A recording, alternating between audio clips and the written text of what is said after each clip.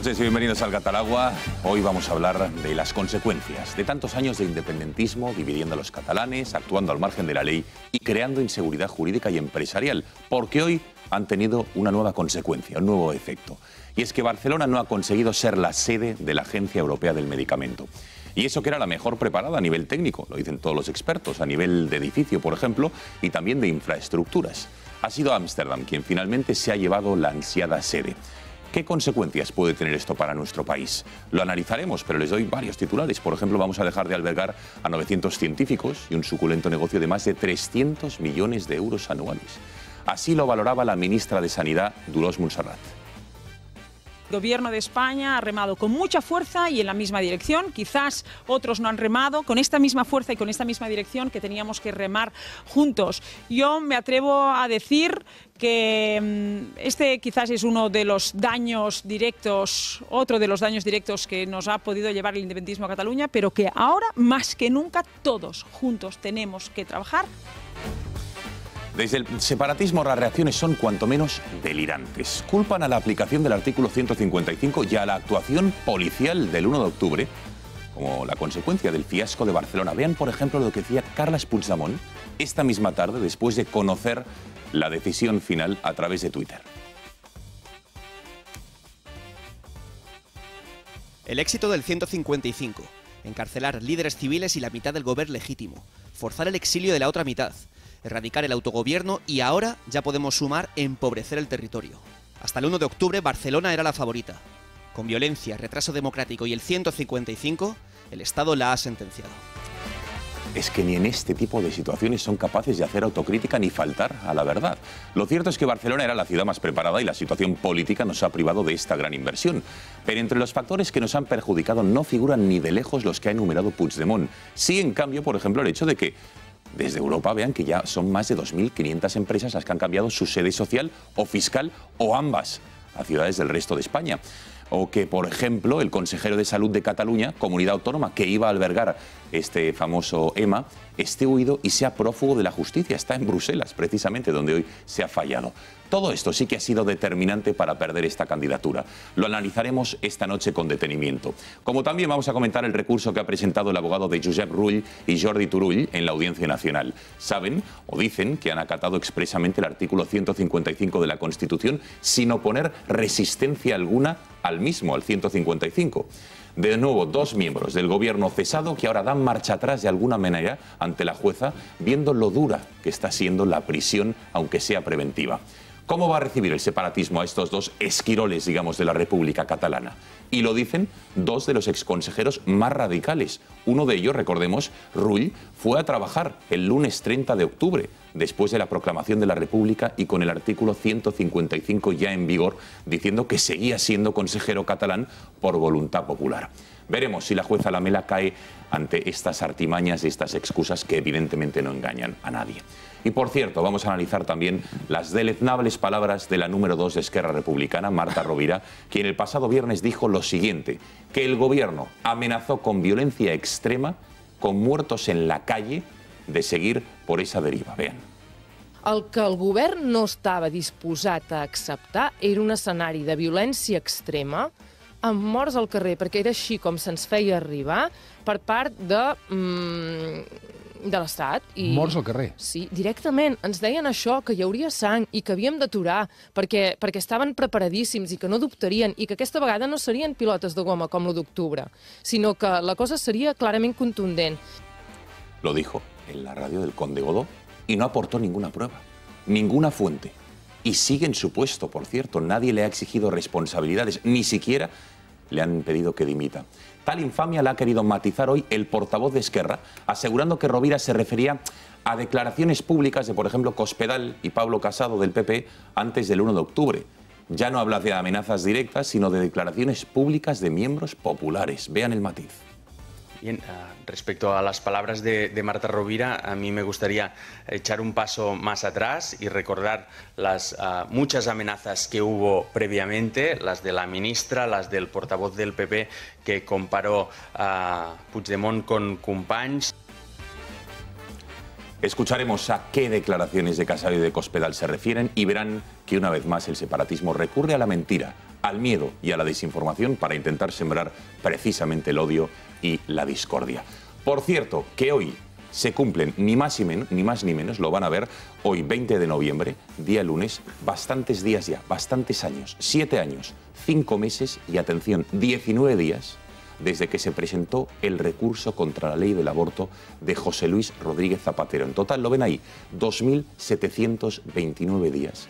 Y todavía a día de hoy, después de todos estos años transcurridos, no tenemos un fallo del Tribunal Constitucional ante la ley de plazos de Zapatero que atribuyó el, al aborto como un derecho y todavía con las vidas que hay en juego, con todo lo que hay en juego, porque no es un recurso menor, sino que es fundamental, los miembros del Tribunal Constitucional, esos 12, no se han dignado a fallar, a sentenciar, si quiere decir si es constitucional o no lo es. No han dicho absolutamente nada. Siete años, cinco meses y diecinueve días. Les presento ya la mesa que nos acompaña esta noche. Está con nosotros Alberto Sotillos. Alberto, buenas noches. Buenas noches, ¿qué tal? Encantado. Gracias por estar con nosotros en el gato. Germán Terz, muy buenas noches. Buenas noches. Gracias y bienvenido nuevamente. Benjamín López, muy buenas. Encantado de estar aquí, Gonzalo, muy buenas. Gracias por estar con nosotros, Benjamín. José Javier Esparza, muy buenas noches. Muy buenas noches. Mira, como nadie te trae nada, te he traído un libro. Hombre, qué detalle, José Javier. El último, A ver. recién salido del horno. Toma. José Javier Esparza, aquí lo ven. Tercios, historia ilustrada de la legendaria infantería española. ¿Qué nos tienes que decir de este libro, José Javier? Cuéntanos, haznos un 30 segundos de resumen. 30 segundos de resumen. Venga. ¿Cómo entender por qué aquella fuerza armada se convirtió en la más eficaz del mundo y en un modelo imi- imitado por otras muchas naciones? ¿Dónde estuvo la clave de aquella revolución? Que fue no solo una cuestión de coraje y de valor, sino que fue además, y desde mi punto de vista, sobre todo una cuestión de inteligencia, de capacidad de adaptación al terreno, de adaptación a las innovaciones técnicas que se iban produciendo, etc. Es una obra realmente, la de los tercios españoles, formidable. Y aquí se trata de contar de tal forma que hasta yo lo pueda entender. ¿Lo has disfrutado escribiéndolo? Mucho. ¿Sí? Sí, sí. Qué bien, pues nada, ya lo saben, ¿eh? Tercios de José Javier Esparce, la historia ilustrada de la legendaria infantería española. Ya a la venta, José Javier, muchísimas gracias Faltaría por más. este presente. También está con nosotros el diputado por la provincia de Castellón del Reino de España, Miguel Barrachina. Diputado, buenas noches. Hola, muy buenas noches. Gracias por estar con nosotros. Un placer. ¿Su regalo ha traído algún obsequio o no? No, pero estoy feliz de ver que se escribe historia de España sin falsificaciones y por tanto enhorabuena que haya gente Muchísimas gracias. que todavía relate con certeza lo que, lo que de verdad hemos sido en la historia ¿no? y con el orgullo que merece ser, ser español. Claro que sí. Bueno, señores, que ¿cómo pueden participar con nosotros? Lo pueden hacer a través de las redes sociales, como siempre, enviándonos sus opiniones, comentarios, críticas o preguntas a nuestro WhatsApp. Lo tienen en su pantalla, 670 03 45 43, 670 03 45 43. También pueden interactuar a través de Twitter, arroba gato barra baja directa, o también a través de YouTube, en nuestro canal Intereconomía Tuve. Se pueden ustedes suscribir, eh, ver los mejores momentos del programa, mañana el programa completo, o vernos incluso a estas horas de la noche en directo e interactuar con el resto de personas que lo estén viendo también a través de esta red social. Bueno, tiempo ahora de comentarles un nuevo vino que les traemos hoy a nuestro mm, programa. Se trata de Canforrales Crianza del año 2013. Un fantástico vino que nuestras dos enólogas han disfrutado, han catado y que les presentamos y que ahora el resto de la mesa eh, cataremos y lo probaremos. Vean y enseguida nos vemos.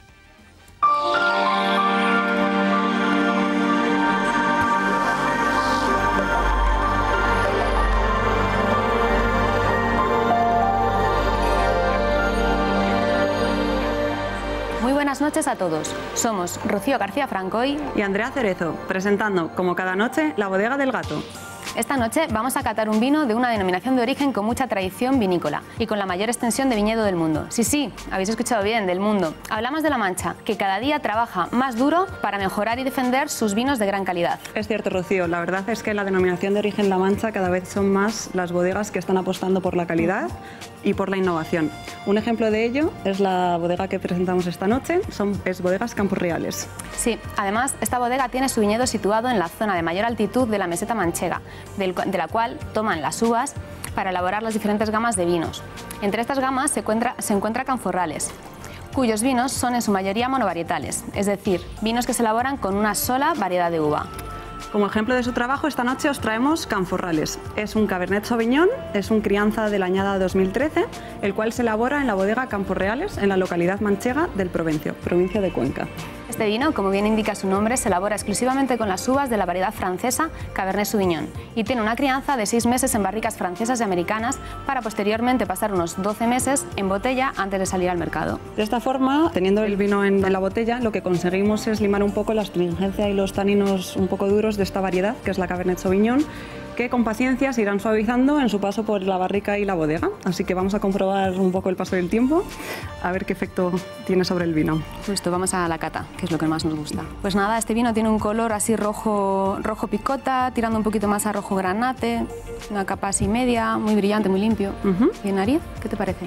En nariz eh, me encanta porque tiene muchos aromas a, a vainillas, a la, bueno, que eso viene de la, de la madera, viene de la barrica que utilizan para, para hacer la crianza.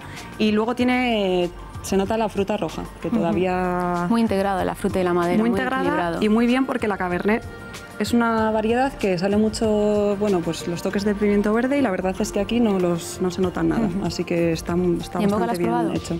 En boca a mí me parece bastante estructurado, dominando los toques balsámicos, pero muy, muy, muy, muy no, está muy bien, Muy chulo. aunque sí, le puede faltar todavía un poco para limar la Cabernet, pero está muy bien, muy sí, promete, este vino promete mucho. listo para, para, para catar y para beber en casa. Así que bueno, esperemos que os hayan gustado y recordad, Canforrales, Cabernet Sauvignon 2013 de Bodegas Campos Reales de la denominación de origen La Mancha.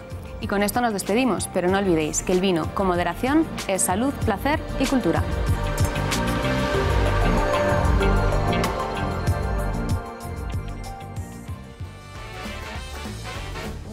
Bueno, Canforrales, crianza 2013, denominación de origen de La Mancha, claro que sí. ¿Qué os ha parecido? ¿Lo habéis probado? ¿Qué os ha parecido? Sí, Está Benjamín. Muy bien, muy bien. ¿Te ha gustado? La verdad es que sí. Diputado, ¿usted le ha gustado, No, no me ha dado tiempo, estoy ahora en ello, pero el, Ah, no el color Yo por sí, el yo sí, sí. Bien, buenísimo. ¿Sotillos bien? Bien. Germán. Maravilloso. Bien, bien. ¿Sí? Esparza, tú que eres muy del vino. Sí, señor. Sí, está, está rico, ¿no? Está Por muy, realmente está divino. muy no, no, está buenísimo. Bueno, y pues- sobre todo tiene un aroma formidable. Y dentro de un rato, que esto estará abierto mm, cuar- 15 minutos, 16 más. Bueno, bueno todo. Canforrales, crianza 2013, ya lo saben, este vinazo que les presentamos hoy lunes. Paula Cruzado, muy buenas noches. Muy buenas noches. ¿Cómo estás? Muy bien. ¿Estás cómoda en esta nueva mesa del gato? Bueno, estoy comodísima, es ¿Sí? preciosa, enhorabuena. ¿Te gusta? Sí. Qué bien. Bueno. No, no, yo no, pero vamos, qué evidente. Bueno, Paula, ¿qué- cuéntanos, por cierto, que tuvisteis un curso con las dos enólogas del gato en el Club de Amigos la semana pasada. ¿Qué tal funcionó? Muy bien, la gente bueno, pues se quedó con ganas de saber más. eh, Probaron pues, tintos, rosados, blancos, para postre. Y la verdad es que ha sido una primera bueno, pues toma de contacto con el mundo de, las catas de vino. A los, clu- a los socios les encantó, a todas las personas que asistieron, que fueron muchas, pues decirles que se volverá a repetir, que la gente que no pudo por tema de horario se adaptará a las catas para que pueda disfrutarlo todo el mundo. Qué bueno. Bueno, cuéntanos, Paula, ¿qué nos traes? Club de Amigos, estamos concluyendo noviembre, todavía hay- alguna actividad más durante este mes y sobre todo diciembre muy cargadito. Eso es, pues para finalizar este mes de noviembre vamos a finalizarlo con Fernando Paz, en el que vamos a hablar sobre todo de un tema pues de muchísima actualidad, que es Cataluña, pero desde una perspectiva histórica a la actual. Nos va a contar pues verdaderamente qué es la realidad de la historia de Cataluña y cómo ha formado parte de esa historia eh, o sea, de Cataluña, la historia de España. Ese va a ser, como digo, el jueves día 23 a las 6 de la tarde la sede de- del Club de Amigos de Intereconomía. Luego ya nos metemos en el mes de, de diciembre. En el mes de diciembre arrancamos el día 5 de diciembre con un curso de Albert Ronald Morales, que bueno, es eh, colaborador de, de la casa, sobre todo en Radio Inter y en Radio Intereconomía. Y vamos a hablar sobre todo de la felicidad a través de los alimentos. Hay, ellos tienen como un top de 10 alimentos que son los que verdaderamente nos da la felicidad y van a ser durante tres martes. Va a ser el martes día 5 de diciembre, el 12 y el 19, a las 5 de la tarde, como han sido los anteriores que hemos hecho con él. Luego, ¿qué más tenemos? Tenemos el curso eh, que estamos viendo ahí de Rab Salam, que quiénes son los cristianos y qué significa ser cristiano en el mundo árabe y musulmán, y traerá pues, bueno, testimonios que verdaderamente nos, nos harán ver eh, la realidad de- del problema y sobre todo pues, bueno, qué, qué es lo que se palpa y se vive en esas situaciones. Van a ser los, el martes día 12 ¿Mm? y el jueves día 16. Dos días. Dos días. Luego también estamos viendo otra, otra actividad que tenemos en el club, que va a ser el Valle de los Caídos, una visita preciosa que haremos el el, do- el sábado día 16 eh, visitaremos el monasterio de San Lorenzo del Escorial y luego comeremos en el Valle de los Caídos y disfrutaremos de un concierto de la Escolanía del Valle de los Caídos, un concierto de Navidad. Actúa muy poquitas veces la Escolanía del Valle de los Caídos y en esta ocasión pues el Club de Amigos quiere estar allí, que va a ser el próximo sábado 16 de diciembre. Primero visitaremos el monasterio de San Lorenzo del Escorial y luego iremos al Valle de los Caídos con la Escolanía de... disfrutaremos del concierto de la Escolanía de- del Valle. Bien. ¿Qué más tenemos? Luego tenemos el día 18 de diciembre, tenemos un eh, evento en la Bolsa de Madrid, que lo va a hacer bueno, por nuestro director de la Escuela de Finanzas, que es Miguel Ángel Cicuende. Cicuéndez, sí, hombre conocido. Sí, muy conocido, en el que, bueno, sobre todo vamos a hablar de qué nos, despara- de qué nos depararán los mercados en el, en, el, bueno, pues en el año nuevo, en el 2018, con todas estas subidas y bajadas de la bolsa, que creo que sube, baja, cae, bueno... Nosotros yo no entiendo mucho, pero ahí está Miguel Ángel Cicuéndez el próximo día 18 de, de diciembre en el que nos lo explicará absolutamente todo. Y para cerrar eh, ya el año, el día 20 de diciembre, contaremos con la presencia de Fernando Paz y Eduardo García Serrano, Toma. en el que haremos un balance, un resumen de todos los, bueno, pues de todos los acontecimientos históricos puntuales que hay que resaltar de este año 2017. Qué buen cierre de año. Y, y un brindis se brindará. Y eh, al finalizar brindaremos por este año 2017, que la verdad es que ha sido muy bueno en el Club de Amigos y esperemos que bueno, pues la gente siga a nuestro lado y se siga dando de alta y cada vez seamos más socios, Gonzalo. Con cava, ¿no? Se brindará. Paula Cruzado, muchísimas gracias. Ya lo saben, si quieren a apuntarse a, vosotros. cualquiera de las actividades que nos ha descrito, llamen al 91 616 2464. Ya escuchan el teléfono rojo de Paula, 616 2464 o escriban a club arroba intereconomía.eu. O ahí también ven intereconomía.org, la página web donde tienen la información de todas estas actividades. Paula, gracias, buenas noches. Gracias a vosotros siempre. Hacemos una brevísima pausa de publicidad y regresamos aquí al gato para entrar en materia. Hasta ahora con un breve consejo. Vean.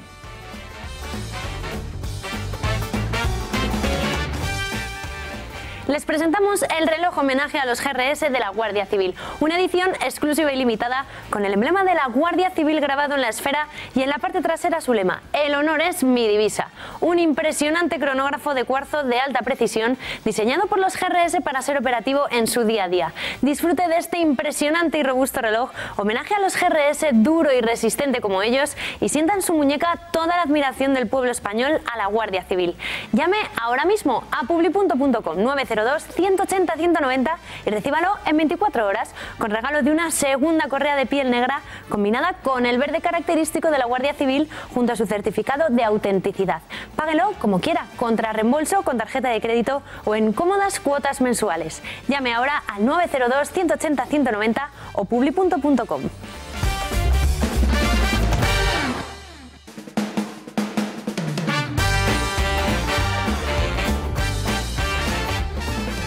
Pasan 20 minutos de las 10 de la noche. Entramos ya en la actualidad en el Gatalagua. Mucho gato por delante, con asuntos muy interesantes. Si les parece, vamos a, comenzar a abrir este espacio con el fallecimiento. Saben ustedes, el pasado sábado a media tarde nos enteramos en España del, del fallecimiento del fiscal general del Estado. Estaba en Argentina, el señor Maza, y era quien, de alguna manera, había cogido muchísima notoriedad en las últimas semanas, en los últimos meses, por ser, digamos, la punta de lanza eh, a través de la cual se estaba, digamos, azotando al independentismo catalán, había presentado las denuncias o los, ¿no? las querellas, digamos, en el- las dos no. querellas en la Audiencia Nacional, en el Tribunal Supremo. Ahí ven la figura del señor Maza y ha muerto, supuestamente tenía problemas renales y ha muerto también, bueno, ahora nos lo contará Carlos Belver, también Berbel por una sepsia. Bueno, em, Berbel, muy buenas noches, ¿cómo estás? Buenas Director noches. de Confilegal. Bien, muy bien. Cuéntanos, ¿cuáles han sido las causas del fallecimiento de lo que sabemos hasta ahora de Maza? Hombre, hay una cosa que nos ha contado y es que Maza solamente tenía un riñón. Nada más, hace como 25 años más o menos, él había tenido problemas de gota en diversas partes del cuerpo y su entonces esposa, María Jesús Muriel, eh, le dijo, bueno, José Manuel, porque era muy dejado para esto del- de los médicos, hay que ir al médico. Bueno, le hicieron un TAC, le hicieron una serie de pruebas y se dieron cuenta que uno de los riñones que tenía era un muñón. Es decir, solamente tenía un riñón. Se habló incluso de extirparlo y demás. Al final decidieron que con un tratamiento pues la cosa podía seguir y hasta ahora. Y lo que pasa es que eh, José Manuel era un tipo que era un currante. Es decir, yo he estado siguiendo los últimos 15 días la cantidad, cantidad de sitios que iba, qué es lo que hacía y demás. Y, claro, cuando llegó a esto a Argentina ya iba con un resfriado, un resfriado gordo. Por cierto, viajó en, viajó en turista, hay que decirlo. Es decir, son 12 horas, yo he viajado a Argentina, 12 horas en turista es para echarle, para comer aparte. Eh, él y sí, sí. Rosana Morán, la, la- la fiscal del Supremo encargada de cooperación internacional, y llegó allí tocado. Y, y bueno, es una infección, y, y le cogieron, no le cogieron a tiempo y, y se fue. Así de simple. Hay una parte, hay una cosa que a mí me, me- me está poniendo los nervios. Ayer recibí cuatro, cuatro eh, noticias falsas, fake news de estas, que dicen que, que había sido una, una mm, eh, víctima de- del Mossad, que la había, que la había, la había eh, intoxicado. Bueno, ya esto Bueno, ya ayer, es de película, ayer, por vamos, ejemplo, ya- a- ya es que- algún confidencial, por ejemplo, el español decía malestar en la fiscalía por la afirmación de una web de que Maza habría sido envenenado por una toxina inoculada. Sí, bueno, vale. Es una buena. Bueno, no va a haber autopsia, no va a haber autopsia, ¿no? No, no, porque eh, mira, su, su exmujer habló con su hijo, con, con- con Pepe Maza, estaba allí y, y dije, mira, tu padre ha tenido lo que ha tenido, ha sido una infección renal y, y lamentablemente ya no está. Es decir, mm, eh, entonces, los médicos que te han dicho, es una, es una, una clínica parecida aquí a la Ruber, y lo tienen muy claro. Es decir, nadie ve nada sospechoso en, la muerte de, en la muerte de, Maza. Simplemente se ha producido. Te- Tenía 66 años, estaba en la flor de la vida, pero no se cuidaba. Es que te lo dicen todo el mundo. Era paracetamol. Se sentía malo, paracetamol. Y ya está, y tiraba para adelante. Estuvo hace poco tiempo, me ha tenido dos, dos desprendimientos de retina. Uno de ellos estuvo prácticamente dos semanas boca abajo. Y es porque, bueno, pues, pues bueno, pues porque la salud a él tiraba y tiraba para adelante. O sea, esa es la razón principal. Es mi punto de vista. Conozco al Bueno, bueno, entorno, ahora, conozco ahora, al- ahora abriremos el debate a la mesa a ver qué, qué consideran al respecto de esta no sé, teoría sobre eh, estas hipótesis sobre la, la- la muerte de... de- Una del- buena conspiración siempre vende, ¿eh? Decir, Sí, sí. Vamos, allá, vamos a ver. Tú pones una, una verdad y una buena conspiración. Yo siempre digo lo que dice lo- el principio de la navaja de Ockham. De todas las explicaciones posibles, la más simple es siempre la más probable. Y en esta, ¿qué quieres que te diga? Bueno, la hoja de servicios de Maza, ¿cómo la definirías, Carlos? Sobre todo en los últimos meses y semanas con el, A el ver, Frente él- él ha Separatista. él ha sido brillante. Es decir, a, a ver, eh, yo me- me, me rectificarás, pero hablando con algunos compañeros tuyos del Partido Popular, les vino como cuerpo, cuerno quemado el hecho de que, de que presentara dos querellas contra, primeramente contra el ex eh, gobierno autonómico de Cataluña, contra sus cat- 14 miembros, y la segunda contra las cinco miembros, seis miembros de la mesa, de la mesa del Parlamento Autonómico. Bien, eh, nadie le indicó que tenía que hacer nada por el estilo, simplemente decidió que esa era, esa era la respuesta que tenía que dar la- el Estado, como se dice ahora mismo. Ujú. Y, y- y él lo hizo. Mm, Bueno, que salía el sol por antequera. A mucha gente le fastidió porque dice, bueno, en, el próximo 21 de diciembre esto nos perjudica, perjudica a las fuerzas constitucionalistas. Pero él tenía muy clara la historia, tenía muy claro el artículo 2 de la Constitución. España es una nación y por lo tanto tiene regiones, nacionalidades y eso hay que respetar. Lo, lo tenía a rajatabla. Por lo tanto, dijo, si le venga bien o le venga mal a quien le venga, esto hay que ir adelante y presentar dos querellas. Hombre, lo que hay una cosa que está clara y hay que recalcar que em, la petición de prisión provisional la tiene que solicitar el fiscal. claro. El juez de motu propio no lo puede hacer. Otra cosa es que el juez luego la apruebe o la decline o decida matizarla con una fianza. Pero la petición viene de la fiscalía. A ver, hay, hay, hay también que matizar. Cuando, creo que fue el día 2, cuando eh, meten en la trena a, a Oriol Junqueras y compañía, eh, lo hemos dicho, fue, aquello fue un- una pasada por parte de sus abogados. Vienen ahí a declarar y dicen, no, solamente vamos a declarar, ah, vamos a contestar las preguntas de sus abogados. Vale, muy bien. Al día siguiente, Maza, en, la SER, está grabado, dijo, no permitió que preguntaran lo mismo que iba a preguntar a Forcadell. Usted eh, admite, asume la Constitución, admite la aplicación de 155, es decir, abjura de todo lo que ha hecho hasta ahora, que era el planteamiento que le hicieron a Forcadell. Y la Forcadell dijo que sí. Por eso le impusieron 150.000 euros y fue a la calle. A esto no les dieron la posibilidad de esto de, de- de poder asumir el 155 y asumir la Constitución y decir que aquello había sido pues, pues esto Simbólico. mm, simbólico, ¿vale? No le dio la posibilidad y lo dijo, lo dijo Maza, si estaba, estaba, estaba claro. Y además hay que decir también una cosa muy clara. Los fiscales, en, en- en la fiscalía, o mejor dicho, en, en el lado judicial siempre se dice que el fiscal es un neutrino, porque es, es una milicia jurídica y por lo tanto quien manda es el fiscal, de arriba para abajo. Por lo tanto, el fiscal dio la orden de que se diera la posibilidad a todos ellos de desdecirse. A Forcadell la tuvo, se les dijo, 150.000 están en la calle. Estos y fueron, fueron de, de sobrados y dijeron, no, no, yo no voy a contestar. Bueno, pues en la cárcel. A ver, Carlos, ¿qué nos puedes decir de su sustituto interino temporal, que se llama Luis Navajas? Si tenemos una pequeña infografía al respecto sobre quién es, quién es este fiscal que va a hacerse va a coger las riendas de la Fiscalía General del Estado. Ahí ven su fotografía. tienes, Tiene es 69 decir- años, ¿no? Durante 16 fue fiscal jefe de la Audiencia de San Sebastián. En 2003 ocupó el puesto de fiscal de sala del Tribunal Supremo. Actualmente es teniente fiscal del Supremo. Actuó en innumerables causas contra ETA. Acusó, entre otros, a Miquel Otegui, que mató a Dácer Sánchez en el 95 y fue absuelto por un jurado popular. Junto con Maza ha trabajado codo con codo en la actuación de la Fiscalía contra el desafío soberanista catalán y advirtió el señor Navajas que adoptaría con firmeza todas las medidas para revertir el agravio del Estado de Derecho. ¿Qué nos puedes decir? A ver, hay una cosa muy clara. El otro día, cuando, cuando murió Maza, las tres asociaciones de jueces, Ujú. de fiscales, mejor dicho, salieron a, la, a una con un, con un comunicado eh, alabando a su, a su fiscal general. Y hay una cosa que alababan, y, y es toda la fiscalía. Es decir, aquí hay una cosa que se llama legalidad y que se llama constitución.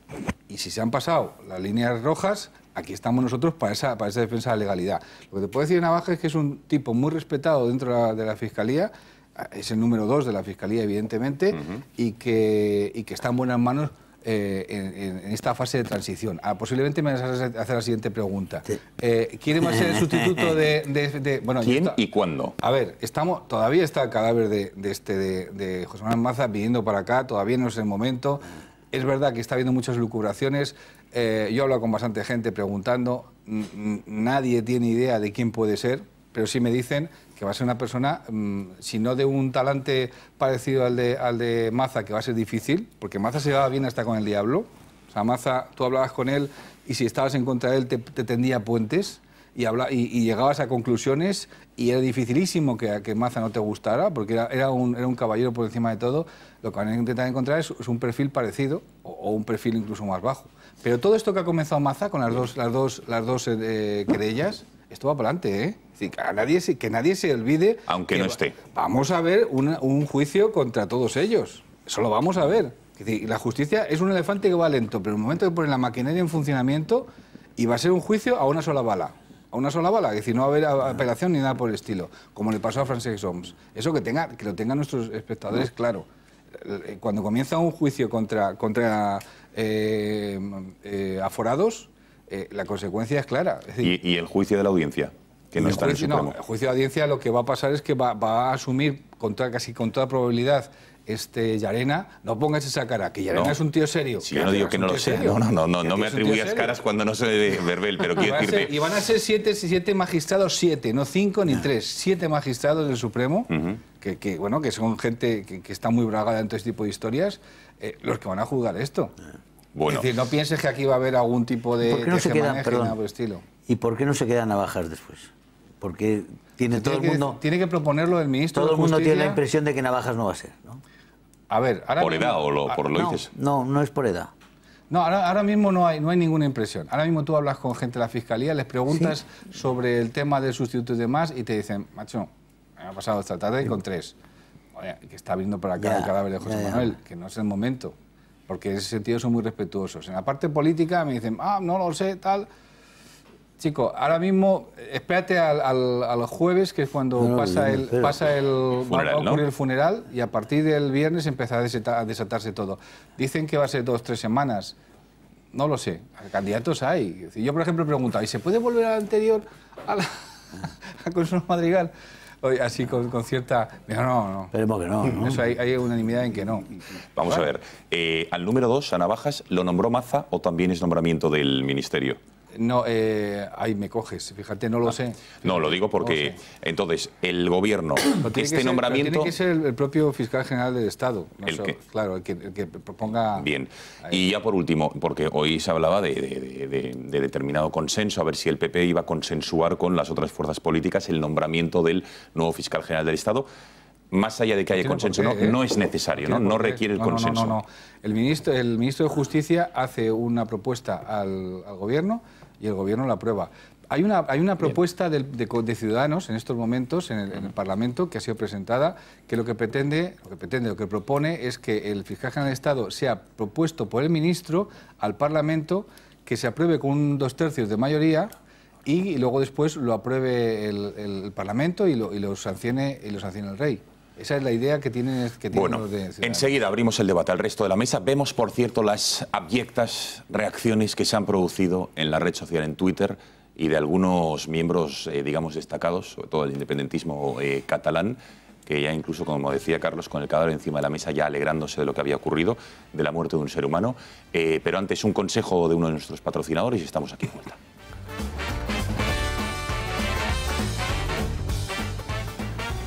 ¿Quiere cambiar su bañera y así evitar caídas, lesiones y resbalones en el baño? Con Securivad eso está hecho. Securivad cambia su bañera por un plato de ducha en 24 horas, sin obras molestas y con 10 años de garantía en el plato de ducha. Securivad se adapta a usted, a su espacio, a sus necesidades, a sus gustos y sobre todo a su presupuesto. Y como siempre le ofrecen la financiación más cómoda y flexible. Es tiempo de reformas, anímese. Llame ahora, pida su presupuesto gratuito y sin compromiso en el 900 101 191. Repito, 900 101 191 o en securibad.com. Recuerde, Securibad presta servicio en todo el país. Llámeles y visite su tienda más cercana. Y si reside en Madrid, no deje de visitar su exposición situada en la calle Hermosilla 54. Securibad, obras limpias, rápidas, garantizadas y buenos precios.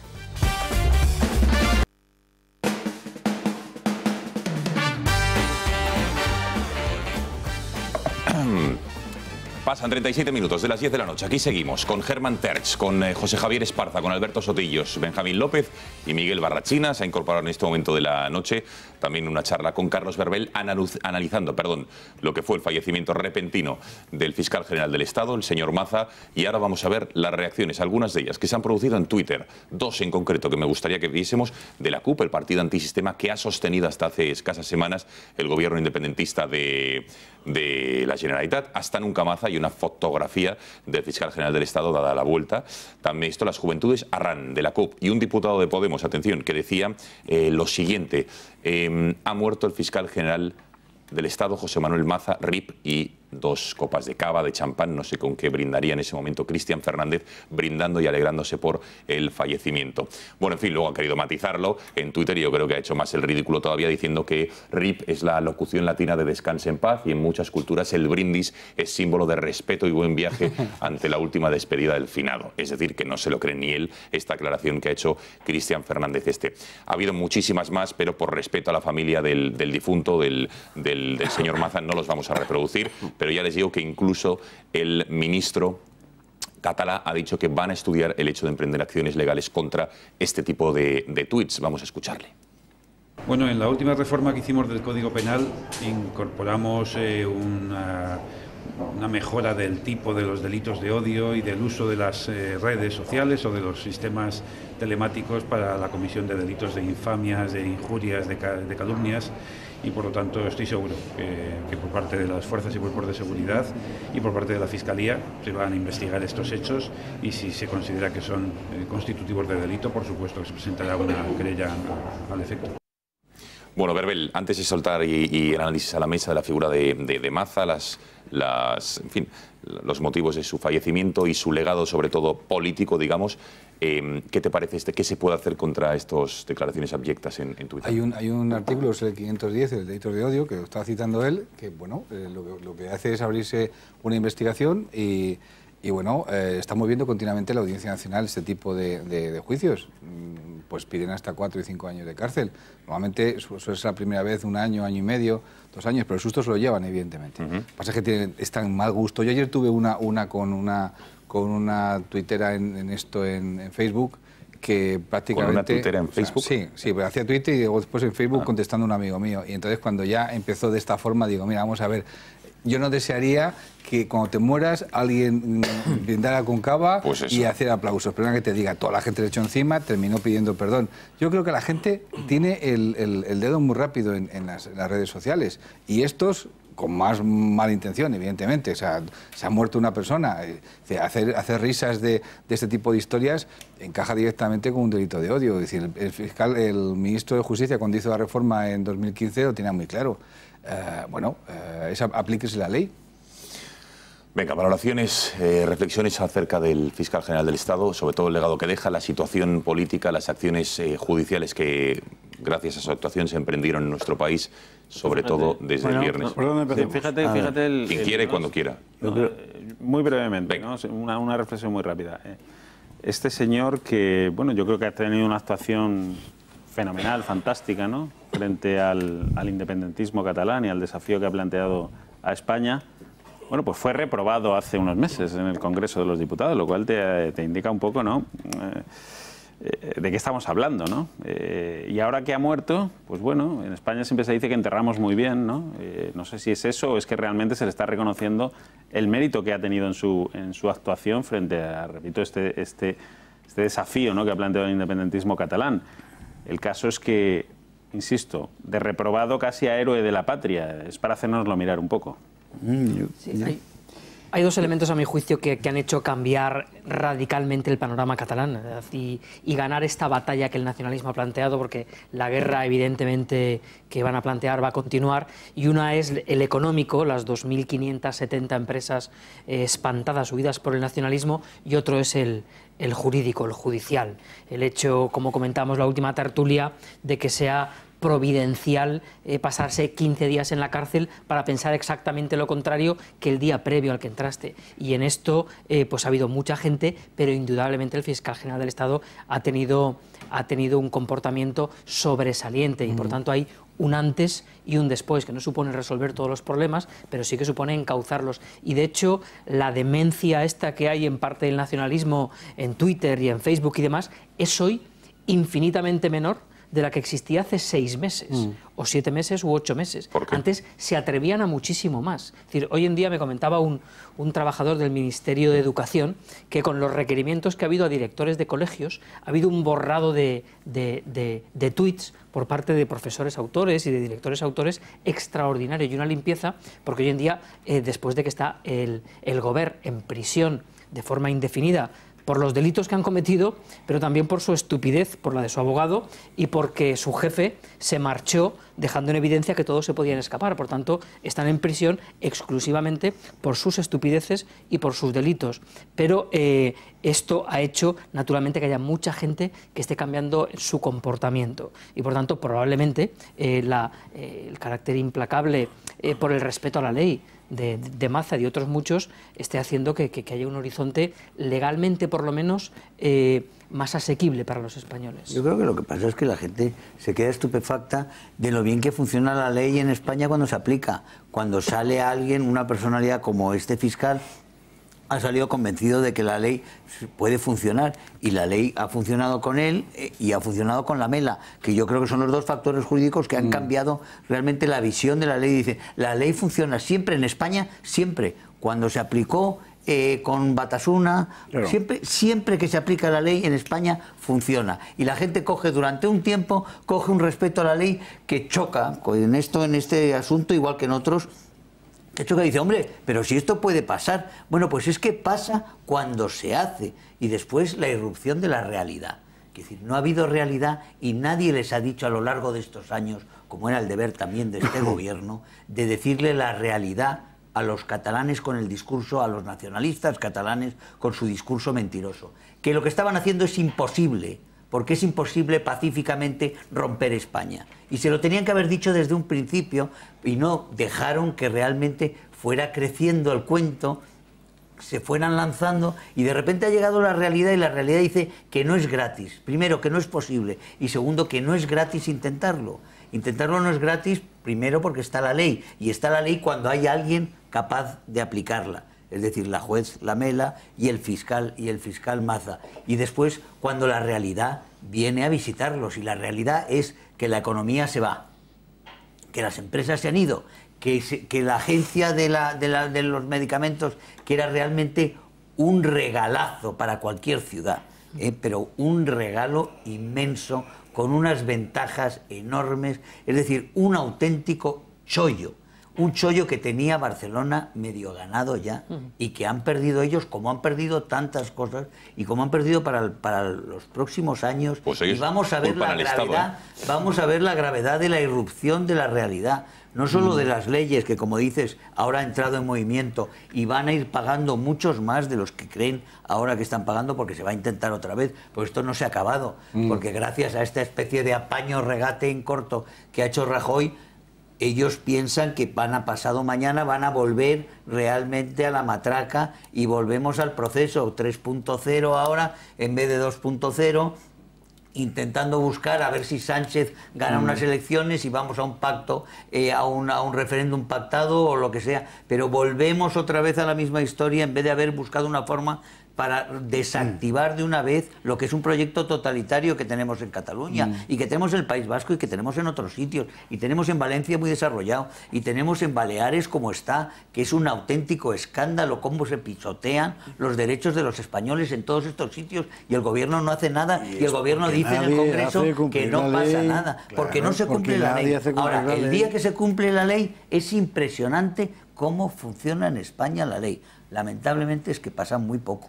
Bueno, eh, pasa normalmente a, escala ciudadana, funciona fenomenal. Nos Claro, cogen a multas, nos nosotros sí, nos verían. Claro, Claro. y entonces el país funciona. No, eso, eso es exactamente así. Yo quería decir una cosa sobre lo que comentabais al principio de la rumorología, sobre el- las causas de la muerte de Maza, etcétera y tal. Que ha habido todo género de, como es lógico. Eh, y bueno, las explicaciones médicas parecen lo suficientemente consistentes como para no pensar en otra cosa. Aunque es verdad que al final la situación es.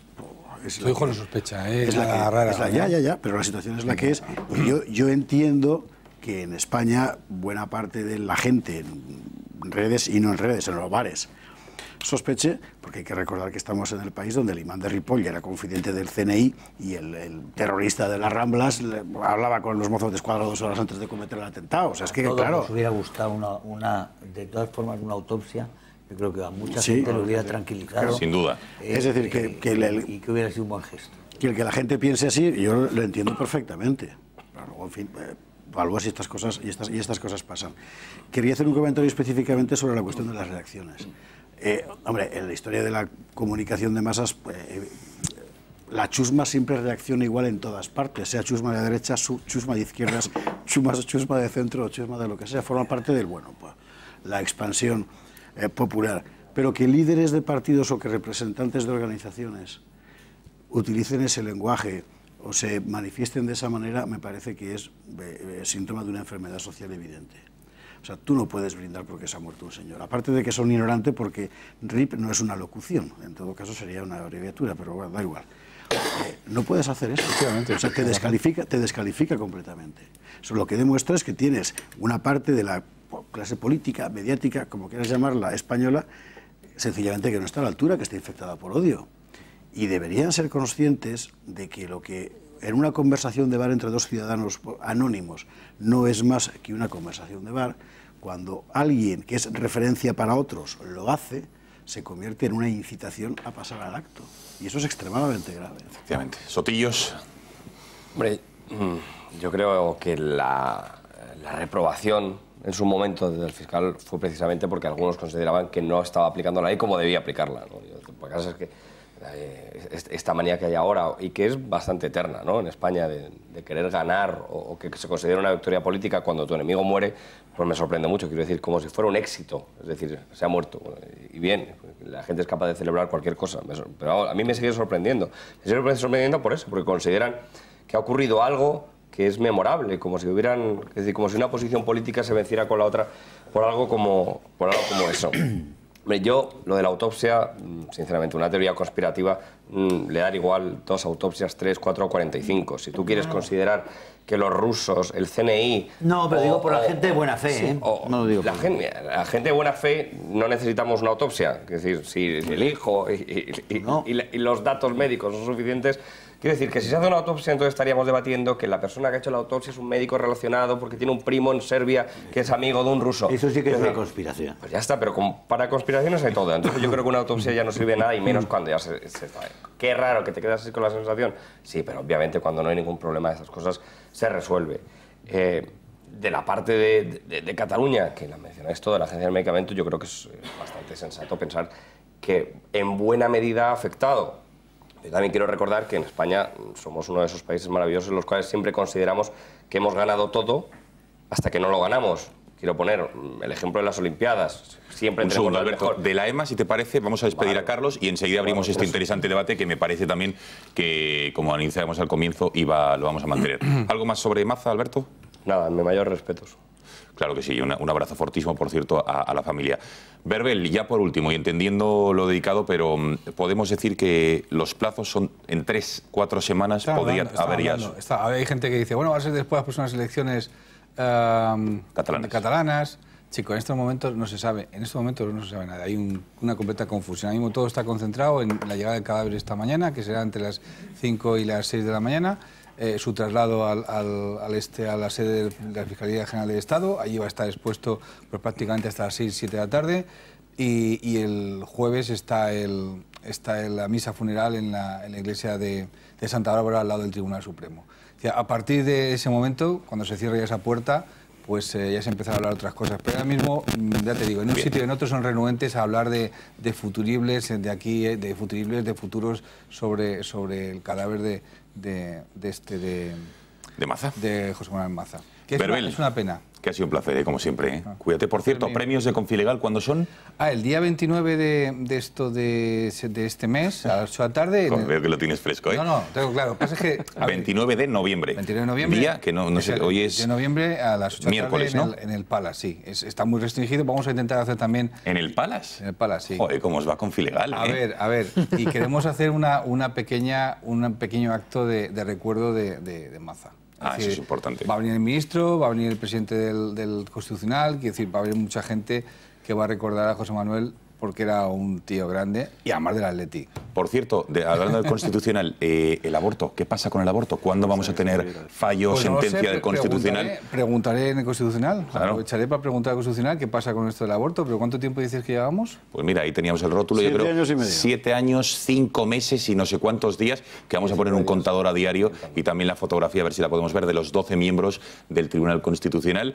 Cinco meses y hoy se cumplen 19 Tampoco días, para que son prisa, Gonzalo, tampoco. Sí, hombre. sobre todo que es- como es un tema años y medio. administrativo y burocrático, pues oye, ya, ya, ya fallarán digo, cuando quieran. Que Gonzalo más me ha dicho que cuando a esto y a ver qué coño. No, pero ahora, ahora fuera, fuera bromas, esto no es un tema, yo creo, para hacer No, bromas. no, si no, dices, es tremendo. insisto, que va a ir el presidente del Constitucional a los premios de Confilegal, no, no, evidentemente ahí estarán nuestros eh, redactores para cubrirlo y para preguntarle cómo es posible siete años y casi seis meses. Es brutal, no, no me lo Carlos. espantéis, ¿eh? No me lo espantéis, ¿eh? que según llegas ahí Pregunten después, después, después, a después. preguntar esto. Sí, Vamos a ver. Pues después de los premios, de- Vamos a ver, le vamos a dar ese... poner orden aquí. ¿eh? Luego que después- disfrute los premios y después ahí estará nuestra, nuestro toro para investir dialécticamente y periodísticamente. Carlos, gracias. Vale, Buenas noches.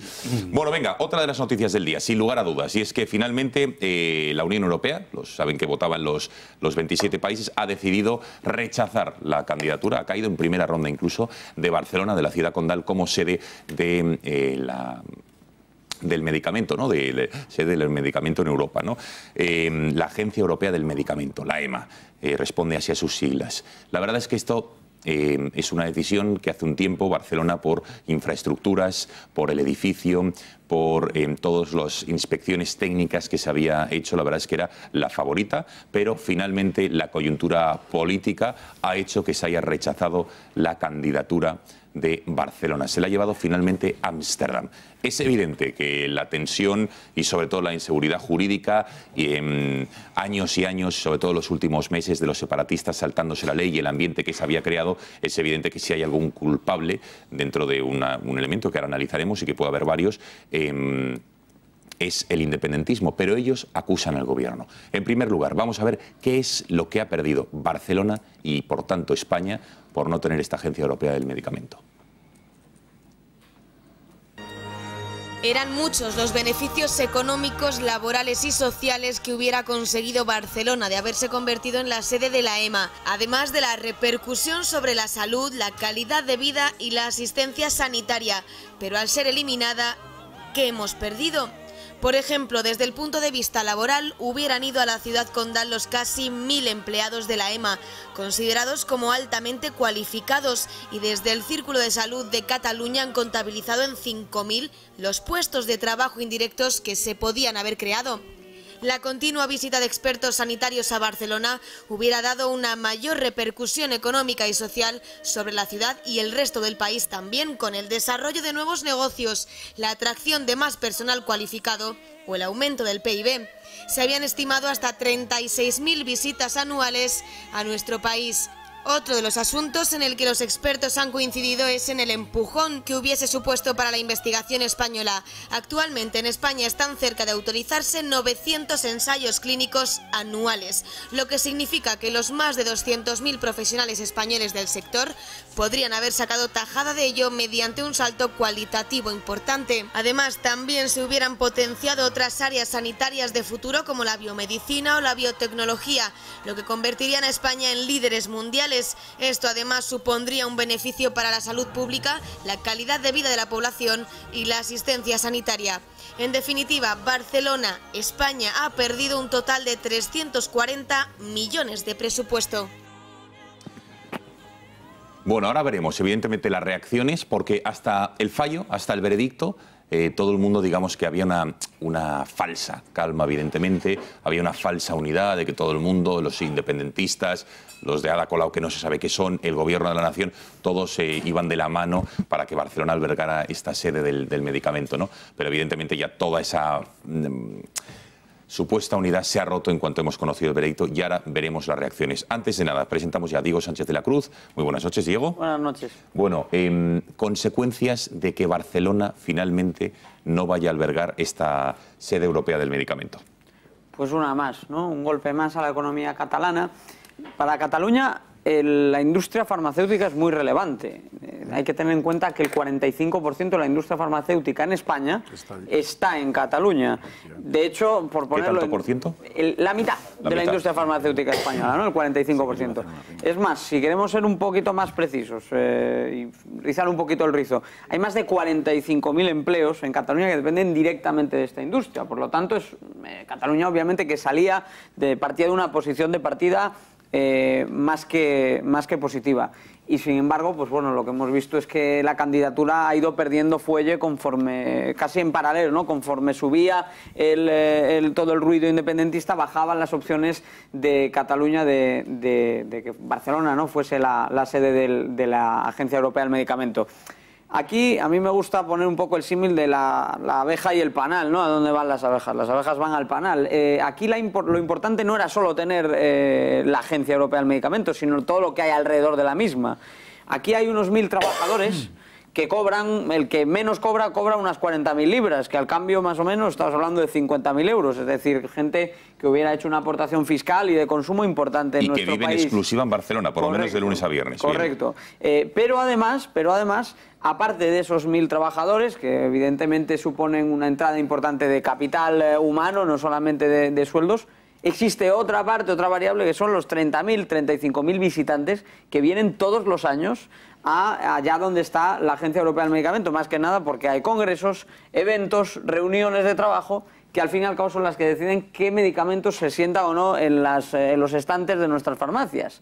Todo eso se pierde, se va ahora a Ámsterdam, al final se ha ido a Ámsterdam por un tiro de una moneda, se ha hecho un, eh, se ha hecho, se ha, echado a la suerte, ¿no? Porque había empate entre, entre Milán y Ámsterdam, pero lo que está claro es que Barcelona tiene una posibilidad real de haber conseguido la Agencia Europea del Medicamento que Barcelona es una eh, ciudad que tiene una industria farmacéutica tanto más potente como la de las ciudades que han llegado a la última ronda y que mm, esto ha sido un auténtico bochorno. Decía eh, Germán antes que era un caramelo, era una especie de ganga eh, para Barcelona y que se ha dejado escapar. Es decir, quiero que ahora nos digas, Diego, si estos argumentos del independentismo, vamos a ver, ahora escucharemos a, la ministra de Sanidad, pero quiero que escuchemos en primer lugar a Carles Puigdemont, el expresidente de la Generalitat, qué es lo que decía tras haber perdido, digamos, Barcelona esta, esta sede. Dice Puigdemont, que recordemos está fugado, exiliado en Bruselas, que el éxito del 155, dos puntos, encarcelar líderes civiles y la mitad del gobierno legítimo, forzar el exilio de la otra mitad,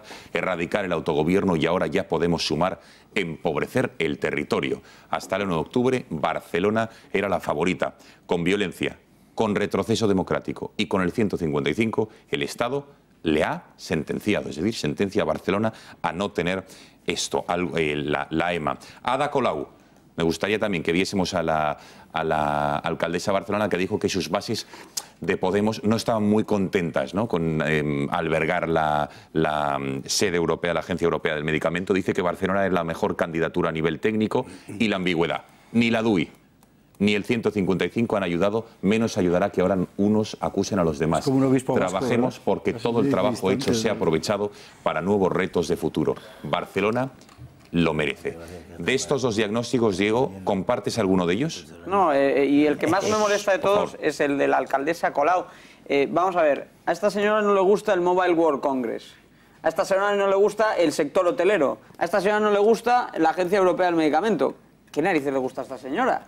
Esto, decías antes, si esto es independentismo o no es independentismo. Esto tiene un nombre, lo de Colau. Esto es pobrismo, en estado puro. Estamos hablando de un gobierno municipal que una y otra vez se está dedicando a promover todo tipo de recetas que lo único que hacen es dejar sin oportunidades de negocio a una ciudad que, una, una comunidad que está creciendo al 3,6%. Eso era Cataluña hace dos meses, hace menos de, de dos meses. Y todo esto nos lo estamos cargando la peor de las formas. Entonces, lo de Colau es que yo no sé ya ni, por dónde tomarlo. Y luego, por otro lado, lo que diga Puigdemont, él es el primero que sabe perfectamente porque la, la- la Generalidad está involucrada en esos trámites, la Generalidad está en esos viajes, la Generalidad ha sacado pecho de un informe realizado a base de encuestar a los trabajadores de la Agencia Europea del Medicamento y un 90% decía que estaba más que por la labor de irse a Barcelona. Entonces la Generalidad lo sabe porque ha ido mano a mano con el Gobierno de España en esto. Y otra cosa es que por su torpeza han acabado descargando una buena oportunidad para todos, porque, insisto, hay 40.000 trabajadores ya en la industria farmacéutica eh, española y eso nos lo hemos ganado sin tener ya, ya digo, esa, esa- ese panal al que pueden llegar todas las abejas del sector farmacéutico. Entonces, esto es una torpeza tremenda, pobrismo en estado puro. ¿Pero ¿Cómo vas a poner la agenda, la, la- perdóname, la Agencia Europea del Medicamento en un lugar que quiere ser independiente y estar fuera de la Unión Europea? Es que no hay por dónde cogerlo. Claro. Bueno, y donde su consejero de Sanidad o de Salud está huido en Bruselas. Eso además, sí. Bueno, Además. Bruselas, al fin y al cabo, mira. Yo Bueno, ya, ya, pero que quiero decirte que no... He estado recientemente, recientemente en Ámsterdam, es una ciudad preciosa, pero nada que ver con Barcelona. Ni por clima, ni por Mediterráneo, ni por nada. Lo que no tiene. eh, Ámsterdam tiene muchas cosas, pero desde luego no tiene una alcaldesa capaz de acusar a su policía nacional de acosos y de abusos sexuales falsamente, ni tiene Ámsterdam un, un presidente regional, eh, una presidenta la que va a ganar las elecciones probablemente.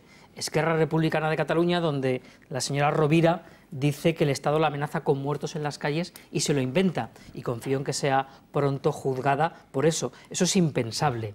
Además de que, evidentemente, si lo que pretendes y tu, y tu hoja de ruta es salirte de Europa, como diablos Europa va a poner ahí una sede. Es verdad que, que- que a mi juicio y al juicio de todo el mundo, ya cuando en 1992 quedó segunda después de Londres, no estando Londres, pues y con la evolución espectacular que ha tenido la ciudad de Barcelona, lo razonable era que Bueno, estuviese allí, como decían todos los funcionarios. Pero es pues si habían 2.500 empresas perdidas, pues 2.501 que agradecer al separatismo. Además de un sitio que se están yendo las empresas, no metes una empresa, no metes una empresa, no metes una inversión y no metes un proyecto. Si eso es normal, si es que eh, eh, resulta, a mí lo que me ha hecho gracia es ver a que hasta el final había gente diciendo que todavía había posibilidades. No había ninguna posibilidad, ninguna posibilidad después de todo este espectáculo, por Dios.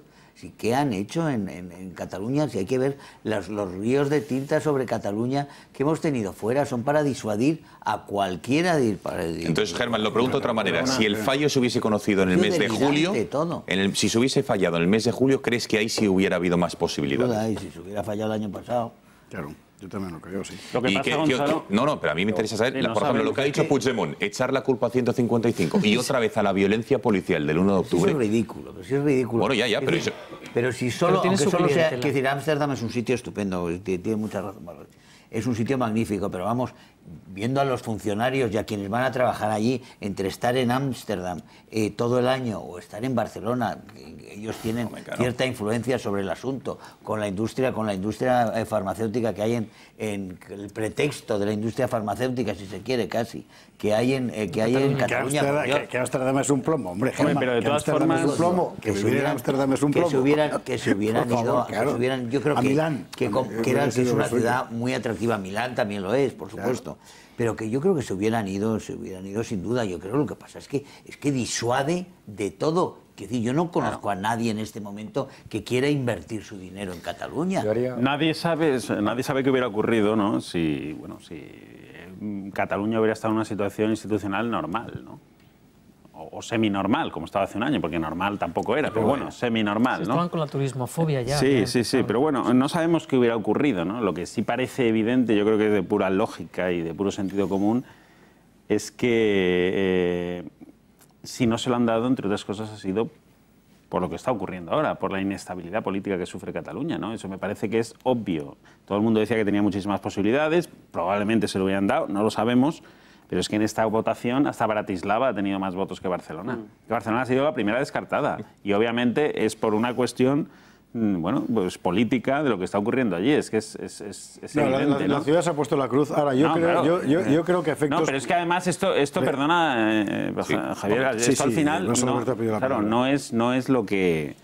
No es, no, es solo, no es solamente el caso de la Agencia Europea del Medicamento, ¿no? Es Todo. que, claro, es que no llega una sola inversión a Cataluña en estos momentos. Es que nadie va a arriesgar Sí. nada, y más teniendo en cuenta que las encuestas dicen que va a ganar un partido que va a seguir con la Y que misma sigue matraca con de la ahora. matraca. Claro, es que es imposible que así Yo, llegue yo- nada de yo quería añadir que en el caso, de- y si dejo a Alberto que le quito la palabra, que en, en- en el caso concreto de Barcelona, la ciudad tiene puesta la cruz desde los atentados de las Ramblas. Esto es así, es- objetivamente, desde el punto de vista de imagen exterior.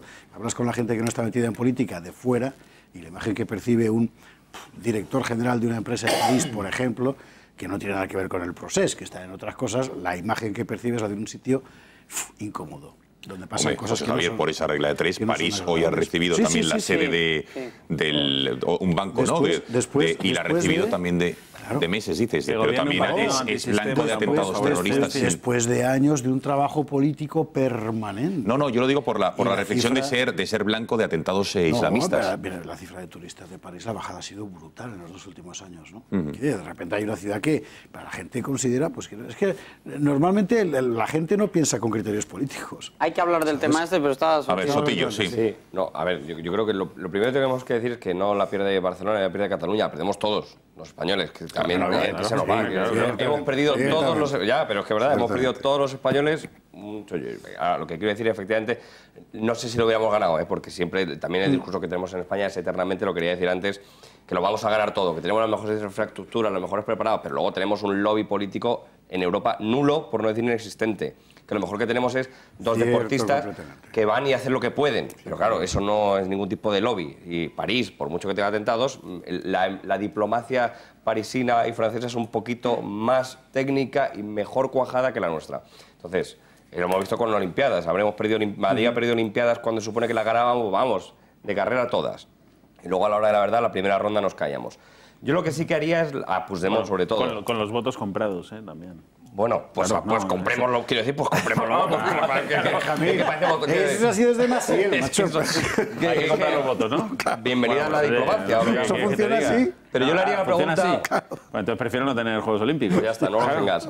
Pero Bueno, y los vamos, mundiales, vamos a ¿eh? Y los mundiales, Nada. o sea, se ha destapado mil veces que en la FIFA, vamos, hay No, una claro. compra de votos, eh, yo no sé en el 82 cuando fuimos sede, pero vamos, que en otras tantas se ha demostrado, incluso se han retirado candidaturas porque habéis ha descubierto el amaño. Bueno, pero yo bueno, en fin, vamos sea, a, vamos a presuponer Sí, no, no Sí, la sí, limpieza en el... Supongo la limpieza y lo presupongo Bien. todo, pero quiero decir que aún así siempre hace falta un poquito de diplomacia y, y- y el gobierno tiene que dar un plus y tiene que dar un plus extra más, porque si lo que tienes es lo que tienes gobernando, eh, y, y dejad de decir exiliado, porque Un son plus vacaciones. extra más. Sí, sí, hombre, si, si tú tienes eh, la, la generalidad que tienes con Puigdemont y, y lo que había ahí gobernando, pues tienes que hacer un plus diplomático extra, que es incapaz de hacer el gobierno de España. Digo, como extra, como plus, que no se le ha hecho. Lo que yo le haría a Puigdemont es la pregunta inversa, es decir, si ha sido por el 155, pongámonos en el escenario paralelo. No se aplica el 155 y la independencia proclamada es de facto real. ¿Considera Puigdemont que con el escenario de una independencia real La Agencia hubieran Europea la del agencia? No, no. Luego, el 155 no ha empeorado la situación, como Claro. mucho lo ha mejorado. Ya está, es fin de la respuesta para Puigdemont en el caso de que fuéramos capaces de argumentar con él más de un minuto.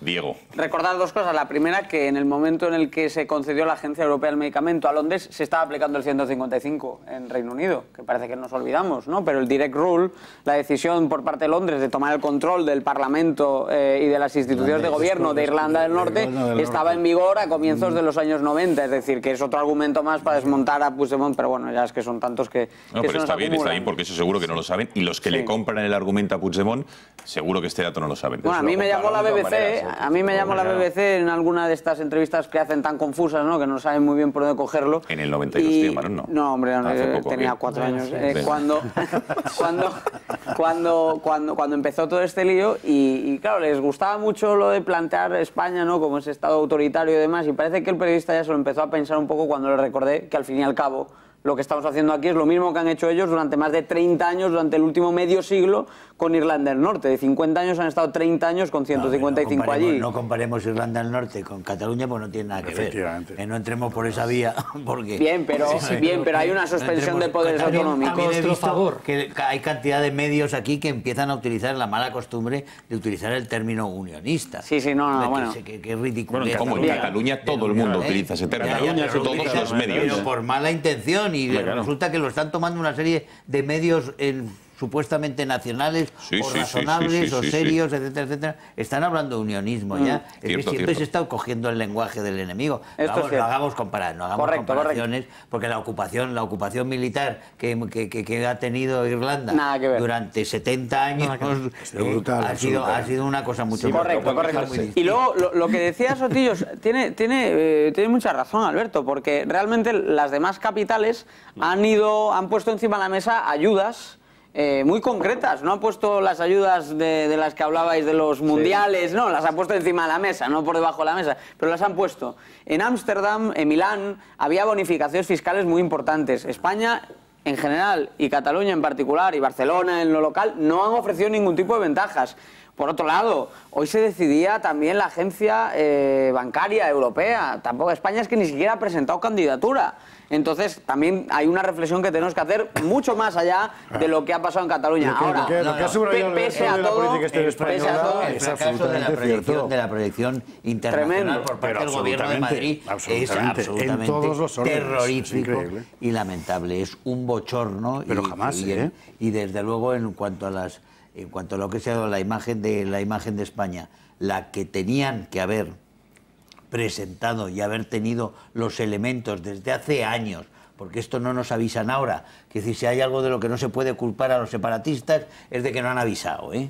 O sea, es, decir, eh, que los que los separatistas, que toda la generalidad confinanciada ampliamente por, desde Madrid con el FLA ha estado teniendo unas conexiones magníficas con todos los medios internacionales que nosotros no hemos tenido porque tenemos una Secretaría de Estado de Comunicación que no se dedica a esto porque no coge el teléfono, eh, donde no, al parecer nadie habla inglés ni quiere aprenderlo, eh, donde no les interesa nada y donde tenemos realmente Cuando no llaman en ruso, claro. y tenemos una Moncloa, tenemos una Moncloa que realmente es eh, un, un- un sitio eh, pueblerino, Una cueva, ¿no? provinciano. Pues ha- ha recibido el apoyo de todos los países de la Unión Europea, la Moncloa. Bueno, sí, Y como con Teletipo. Pero ¿cómo no lo van a recibir? de- y imagínate, el presidente, esa propia, el además. presidente de la Comisión Europea decía este fin de semana en una, en una larga entrevista que se equivocan mucho los nacionalistas y desconocen el gran respaldo y el prestigio que tiene Mariano Rajoy, que no es un cualquiera, es el presidente de la nación que más Ese, empleo bueno, crea pero lo tiene- Europa. lo que por tiene es- es el- una reputación- una reputación, no, Es no, el gobierno de España Por y las medidas y por las por reformas económicas del PSOE, No, pero por Miguel, las cuales Miguel, España crea hoy Oye, no, hay, hay que aplaudir Bueno, a ver, la capacidad. empleo y ha recibido A ver, bueno, 87 campaña millones. Bueno, un segundo. Vamos a 87 despedir. Venga, vamos a despedir a, a Diego Sánchez de la Cruz, que por cierto, digo, no me resisto a preguntarte porque, ya que estás aquí, otra noticia de índole económico. Eh, hoy es, digamos, bautizado, digamos, como el Día de la Deuda. Es un drama lo que ocurre hoy, porque a partir de ahora, digamos, que ya no hay más dinero para pagar... eh, que- ¿De qué? Y se va a tener que tirar de déficit. Explícanoslo bien. ¿Qué Claro, pasa? de toda- todas las familias y todas las empresas entienden esto perfectamente. A tenemos ver. unos ingresos y tenemos unos gastos. Y cuando los gastos están por encima de los ingresos, pues estamos viviendo de prestado. El Estado en España alcanza el día de la deuda esta semana. Es el informe, lo presentamos esta semana con más calma, ¿no? Entonces, a partir de ahora... Respecto al PIB, ¿quieres Claro, decir? es decir, el uno de... No, respecto a Respecto a los ingresos. ingresos. Respecto, Respecto a a los ingresos. ingresos, claro, porque Vale. con el PIB siempre hay trampas, ¿no? Si el PIB sube mucho, pues puedes maquillarlo, pero ingresos, gastos, al final es lo que importa. Entendido. Desde el 1 de enero, todos los ingresos que hemos tenido nos han durado hasta esta semana. Pero a partir de esta semana, todo el gasto que va hasta Nochevieja, hasta las campanadas, lo vamos a financiar. Cada sueldo, cada carretera, cada inversión, todo, a nivel eh, estatal, autonómico, local y caja de la seguridad Un momento, social. Barrachina, vamos a dejar. Diego, ¿y en 2011 Momento, momento, esto momento, no sería en agosto? Era bueno, bueno, en agosto no, pero era, era mucho, mu- era, era claramente anterior. Es decir, Se ha sí, sí. reducido en un 70% el déficit fiscal. Sí, sí, sí. Es decir, por ejemplo, el del gobierno central ha pasado de 70 a 30 días, para que nos hagamos una idea. Es decir, se ha reducido más de la mitad. Eh, lo estás comparando con el PIB, con el PIB se ha reducido más, pero eso tiene que ver porque el, el sector privado ha crecido mucho. No porque haya habido tanta austeridad como debería haber habido, pero la ha habido. Ha sido grande. Pero bueno, es que al final es gobierno central, eh, autonomías, que hay mucha tela que cortar y que, mejor dicho, que recortar. Eh, gobiernos municipales, caja de la seguridad social deficitaria. La suma de todo esto es que desde hoy hasta Nochevieja, cada minuto que pasa nos estamos fundiendo millones de euros de gasto público con cargo al déficit.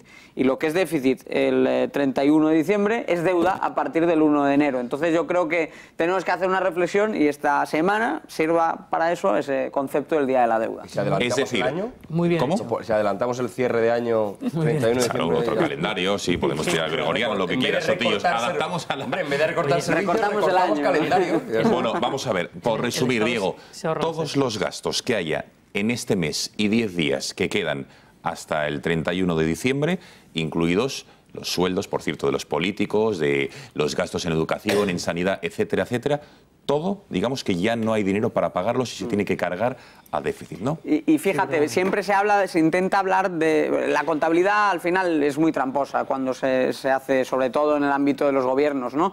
Y, y tal y como está ahora mismo homologada, lo comparamos con el PIB. Entonces, si a alguien en casa le dicen el- la deuda es del eh, 100 o del 50, no, no lo entendemos de manera clara. Entonces, una forma de expresar claramente cómo están las cuentas públicas que están mejor efectivamente de lo que estaban, pero que están mal. Eh, Queda mucha tela ahí por, por- por recortar, insisto.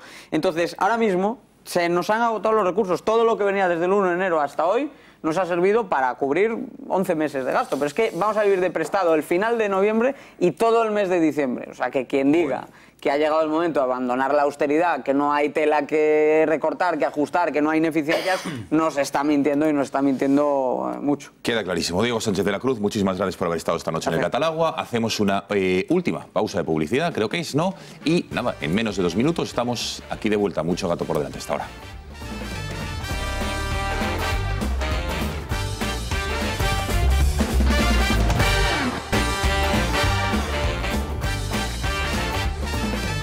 Pasan 21 minutos de las 11 de la noche. Aquí seguimos en el Catalagua. Antes de seguir analizando la actualidad, Esparza, ¿qué te traes entre manos? Hombre, es una forma Cuéntanos. un poco, ¿cómo decir? Metafórica de decirlo, porque Venga. es difícil traerse entre manos Atención. esta barbaridad que es una auténtica joya. Bueno, esto tienes que. eh, mi cámara. A ver, vea, sí, aquella. efectivamente, a ver. Muy bien, vamos a ver. Esto hay que verlo así: caja de bombones, constituciones españolas, y usted lo abre, y he aquí que Teófilo ha hecho, a modo facsímil, una reproducción de todas y cada una de las constituciones de la historia de España, desde la Pepa hasta la del 78, pasando por las de los moderados, la de la primera, la de la restauración, eh, perdón, la gloriosa, la primera república, la, la segunda república, en fin, todas. En una encuadernación preciosa, con textos que se leen muy bien, arriba, pues el famoso cuadro de la Juez de las Cortes de Cádiz, y que esto es una joya, una No las has definido como preciosas, has utilizado otro adjetivo. Las, ¿Cómo las has definido? ¿Te parecía muy qué? Has dicho antes. la Una publicidad. monada. Una monada, Una es verdad. Ha dicho la no, palabra monada, es verdad. esto No, no, y Esparza puede y Esto pensar. era para que Valls me pusiera jamón, pero no me lo he puesto. diciéndolo. ¿Eh? Helo aquí. Es de verdad que es una auténtica gozada. Esto es pues, un estuche y sacas un Saca, libro. saca uno, saca uno, por ejemplo, efectivamente. Este, por ejemplo, es la Constitución del año 37. Eso es. Sitúese usted, ha sido el golpe de riego en el 30, los... El 30, ¿no? Sí. Se han peleado los, los, los saltados y los moderados ya permanentemente. Todo nuestro siglo XIX va a ser el más hortera de la historia de Europa a causa de esa división. Bueno, pero ha quedado esto. Bueno, Y tú vas acumulando una cosa detrás de otra. Eso es. Y realmente es una auténtica maravilla. Bueno. Y qué bonito está. Venga. Notará el espectador que la Constitución del 78 está con el aire de San Juan en la portada, erróneamente llamada anticonstitucional por los ignorantes. Porque eh, no hay un escudo constitucional. En aquel momento el escudo de España era este, y lo fue hasta el año 82. Bueno, pues ¿cómo lo pueden ustedes adquirir? Eh, ya lo ven, le, levanto el esparza para que lo vean. Al 91, como siempre, nuestro club de amigos, un producto eh, de Ah, la editorial Teófilo. Lo más que- interesante, solo 99 euros. Eso es, por 99 es increíble. Ocho constituciones, eh, 99 euros, llamando al 91 616 2464, 91 616 2464 o escribiendo a club intereconomía.eu. Ven ahí todas las condiciones de envíos y sobre todo el precio, menos de 100 euros. Desde luego, para historia, para tenerlo en casa, desde luego es fundamental, ya lo saben. Bueno, venga, seguimos analizando más aspectos de la actualidad. Atención, que dos exconsejeros del gobierno de la Generalitat, el señor Rull y el señor Turull, de alguna manera han intentado dar marcha atrás en el recurso que ha presentado el abogado que ambos comparten ante la jueza Lamela, diciendo que han acatado el artículo 155 de la Constitución. La agencia EFE ha tenido, digamos, de alguna manera eh, acceso a ese recurso que han presentado. Vamos a ver algunos extractos que van a ir viendo en, en pantalla. Dice su abogado eh, que ha acatado expresamente las medidas decretadas al amparo del artículo 155 de la Constitución sin efectuar ni promover ningún tipo de resistencia a su aplicación. Esto dice el abogado, no hay pues voluntad ni riesgo de reiteración delictiva, sino el compromiso de mantener las legítimas aspiraciones políticas en el cauce de la confrontación democrática electoral, con pleno respeto al pluralismo político que debe regir la convocatoria electoral, dice ambos presos preventivos. Y por último concluye diciendo, buena prueba de ello es que tras la aplicación de dicho artículo no se han adoptado ya ningún acuerdo ni dictado disposición de ninguna clase, ni por el Govern, que estuvo reunido al finalizar la sesión parlamentaria del 27 de octubre, sin adoptar ningún acuerdo, bueno, en fin, ni tampoco ninguna orden por ninguno de los cesados consellers, como si hubieran podido hacerlo. Hacemos ¿no? una traducción. O sea, yo voy y te atraco. La policía me pilla y me mete en el trullo. Y me aplica la ley. Y entonces yo digo, "Eh, desde que estoy en la cárcel No no, he violado ningún artículo de la ley. rehabilitado. Me estoy portando bien, ya no he robado nada, por tanto, fuera. No, Son- pero ¿sabes son- lo que son- pasa? son- Eh, eh, a mí me da hasta lástima, son- porque esto es hacerse un, un- un forcadel, o sea, es, de- es decir, es intenta- intentar dar marcha atrás, quedar muy mal, pero encima para que no te sirva absolutamente para nada, porque los argumentos que, hombre, si ya te Bueno, bajas los pantalones, no te los bajes solo hasta espérate, Benjamín, hasta los espérate, tobillos, a ver si te Benjamín, sale bien. que hay mucha gente suspirando porque salgan. Es que el- espérate. No, pero- porque de aquí a 15 días a lo mejor estamos no hablando de otra cosa. quedado, Esparza, Pero- que, el, que el fiscal pero- general difunto, que eres un tío estupendo y tal, ¿Qué y- que independiente, etcétera, hombre, pues que vamos a confiar un poco en la justicia. Pues que solo confiamos ya cuando, cuando están fallecidos. a ver, No, no, vamos a preguntar, venga. Son cosas distintas. Quiero En más opiniones. A ver. Xavier Rius, No, no, no, no, director del, del digital enoticias.cat, ahí le vemos. Eh, Xavier, buenas noches, Bonanit, desde Barcelona. Estoy de sparring, ¿no? Sí, de sparring. Bueno, Xavier, viendo todo lo que está haciendo los- el independentismo, ya has dejado de ser independentista, supongo, ¿no? Después de cómo se ha llevado el procés y todas las chapuzas que están haciendo, o, o eres persistente? No, lo que pasa es que estoy muy desanimado, ¿no? Como ciudadano de Cataluña, porque yo seguía ahora con el tema de la EMA y es cierto que ni, que ni siquiera con esto hacemos autocrítica, ¿no? Parece evidente que si, si la Agencia Europea del Medicamento no viene a Barcelona es por la situación política y por la incertidumbre. Difícilmente un organismo europeo que se va por un referéndum va a ir a otro sitio en el cual hay el riesgo de un referéndum, ¿no? Sería hacer dos mudanzas, ¿no? es evidente. ¿no? Y además me sabe mal un poco la reacción tanto del presidente de la Generalitat o el expresidente de la Generalitat, eh, de Tremosa, etcétera, culpando un poco al Estado. Me recuerda un poco a Junqueras, que también dijo que las empresas se marchaban por los porrazos de la policía, ¿no? Hombre, se marchan un poco o se marchaban por la, por la incertidumbre política, ¿no? Resulta, yo, vamos, casi evidente. Lo que pasa es que aquí nadie ha hecho autocrítica, ¿eh? Quiero decir, eh, todo el soberanismo un poco la patada para adelante y, criticar al gobierno del Estado, hasta en TV3 decían, bueno, como casi decían aquello, ¿cómo puede ser que no venga la agencia del Mediterráneo con lo buenos que somos, no? Pues ya ves, ¿no? O sea que estamos mal, ¿no? Realmente. Pero vamos a ver, Xavier, tú eh, decías lo que decía Oriol Junqueras, lo que ha dicho Itramosa, lo que ha dicho también Puigdemont. Ada Colau, te recuerdo que dijo que, que la, el, el congreso este de móviles que se celebra en Barcelona, el más importante a nivel mundial, estaba Bueno, peligrando que- por los que porrazos de la policía.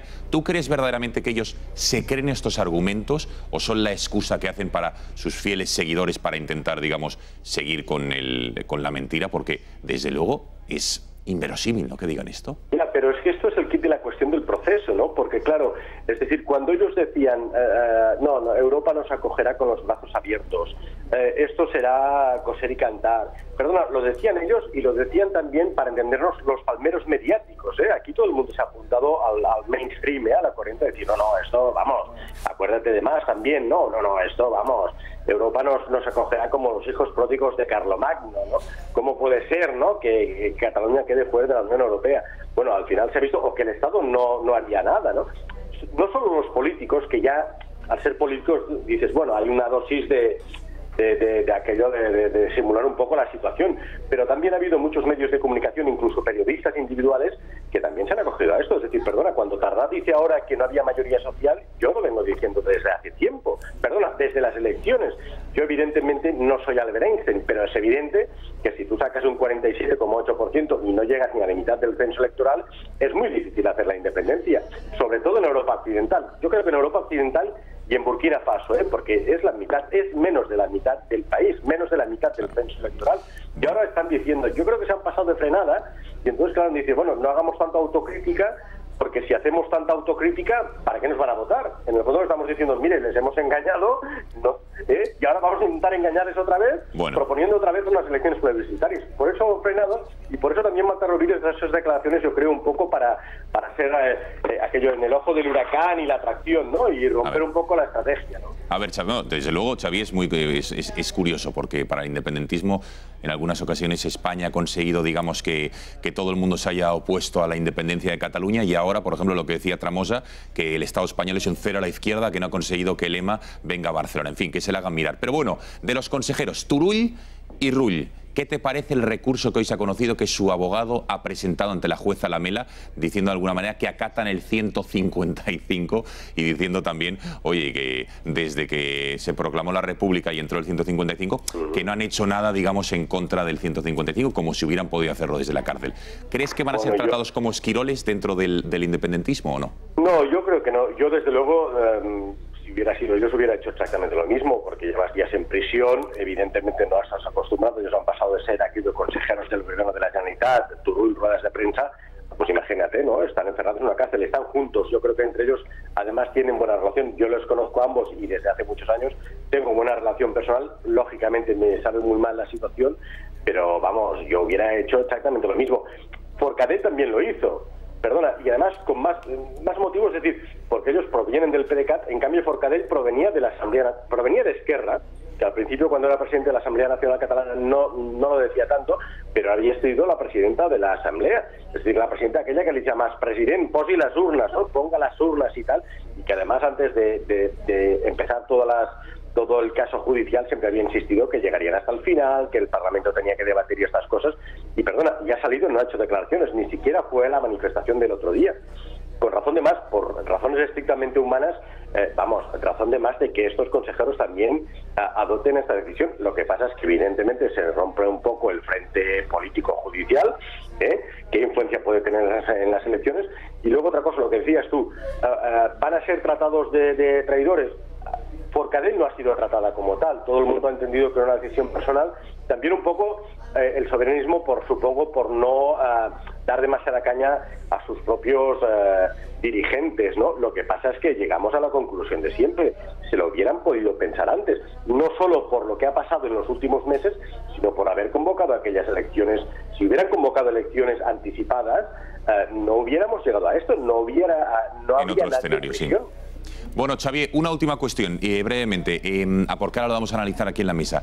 ¿Qué te parecieron las declaraciones de hace unos días de Marta Rubira diciendo literalmente que desde el Estado se les amenazó con diferentes vías, con violencia extrema, incluso que habrían muertos en las, en las calles y que ellos no estaban dispuestos a asumir esto? ¿Qué te parece la declaración de la número dos de Uriel Junqueras? Pues, mira, dispuestos a decir disparates, eh, yo te voy a decir que yo creo que el que aspiraba un poco a que hubiese víctimas era el soberanismo. Es decir, suena muy fuerte, ¿eh?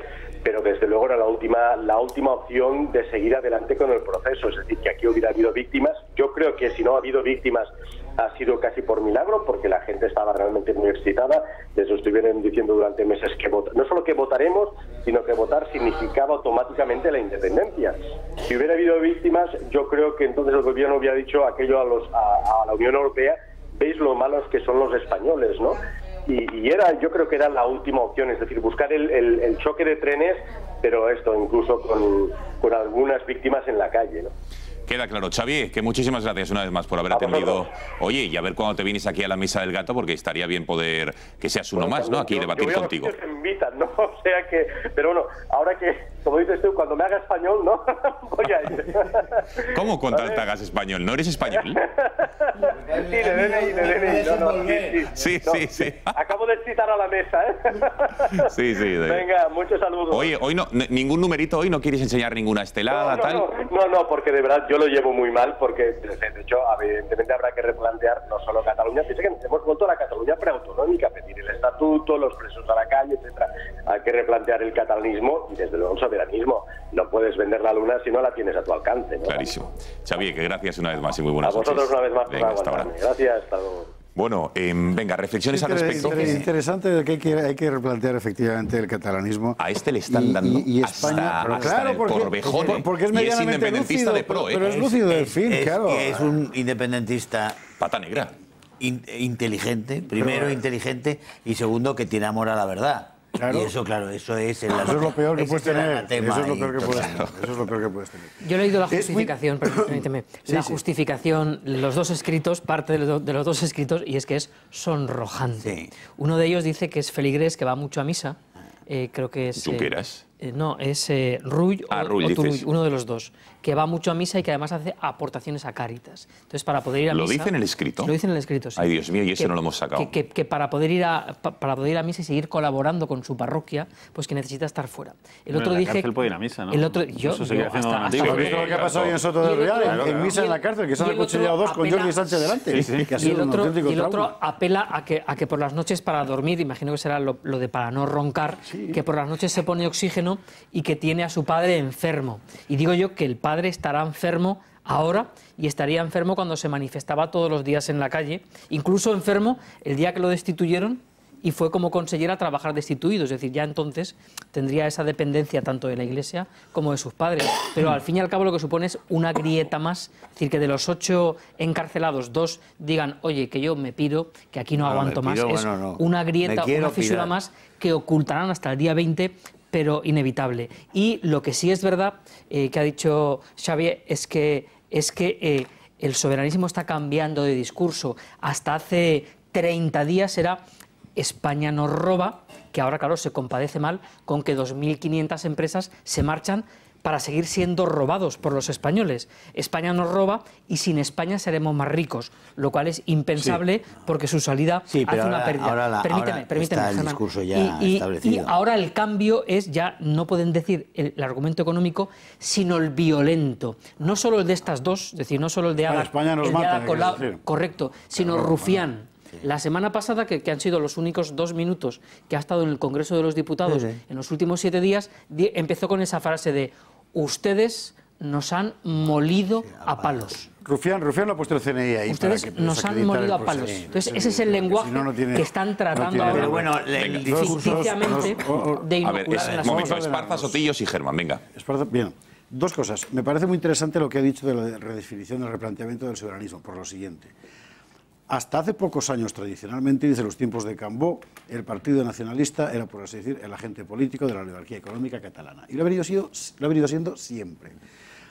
En el momento en el que Pujol organiza su estructura de poder, el agente político ya no es el partido, sino el gobierno catalán. Y eso, cuando cambia el sujeto político en el gobierno catalán, es letal, porque está, en manos del Partido Socialista y de, y de Esquerra. Eso es lo que ha conducido a la dinámica del nacionalismo catalán a un punto donde la mayor parte de la gente que ha estado 40 años haciéndole fiestas al separatismo no quería llegar, que era a la separación de verdad, porque su política consistía en sacar el máximo provecho posible de una teta que exprime siempre, pero claro, que no se puede ir jamás, porque si la pierdes, se acabó. Y eso es España que eso es lo que consistía. Eh, en ese sentido, el separatismo catalán, o el nacionalismo si preferís, ha llegado realmente a un punto sin retorno. Ha roto, ha roto la ubre. Es decir, es que ahora qué, ahora qué van a hacer? Marcharse las empresas y tratar de que alguien con quien Madrid pueda negociar se quede allí. A lo cual, por cierto, en Madrid hay demasiada gente dispuesta, empezando por Pedro Sánchez. alguien allí que sea, pues, pues el agente local, ¿no? En segundo lugar, la cuestión de la violencia también es importante y me parece muy importante además que lo haya dicho precisamente Xavier Rius, porque desde el mismo, no el 1 de octubre, el día antes, a todos nos habían contado desde diferentes fuentes que se estaba buscando deliberadamente una provocación violenta en la calle y había incluso listas de los grupos antisistema de diferentes lugares de Europa que han venido a liarla, porque es su profesión, a Génova, va donde haga, donde haga falta, a Génova, en Italia, a liarla. Y eso no ha pasado, y eso efectivamente podía haber pasado en cualquier momento. Sotillos. Hombre, yo creo que lo que estas declaraciones, bueno, estos, estos escritos ponen de manifiesto, yo creo, dos pequeñas cosas. Uno, que es cierto que, aunque nos parezca mentira, la podían haber seguido liando, aunque nos parezca sorprendente, pero es cierto que por poder podrían haber dictado órdenes que fueran no seguidas por nadie, pero por poder podrían haber hecho el ridículo todavía más.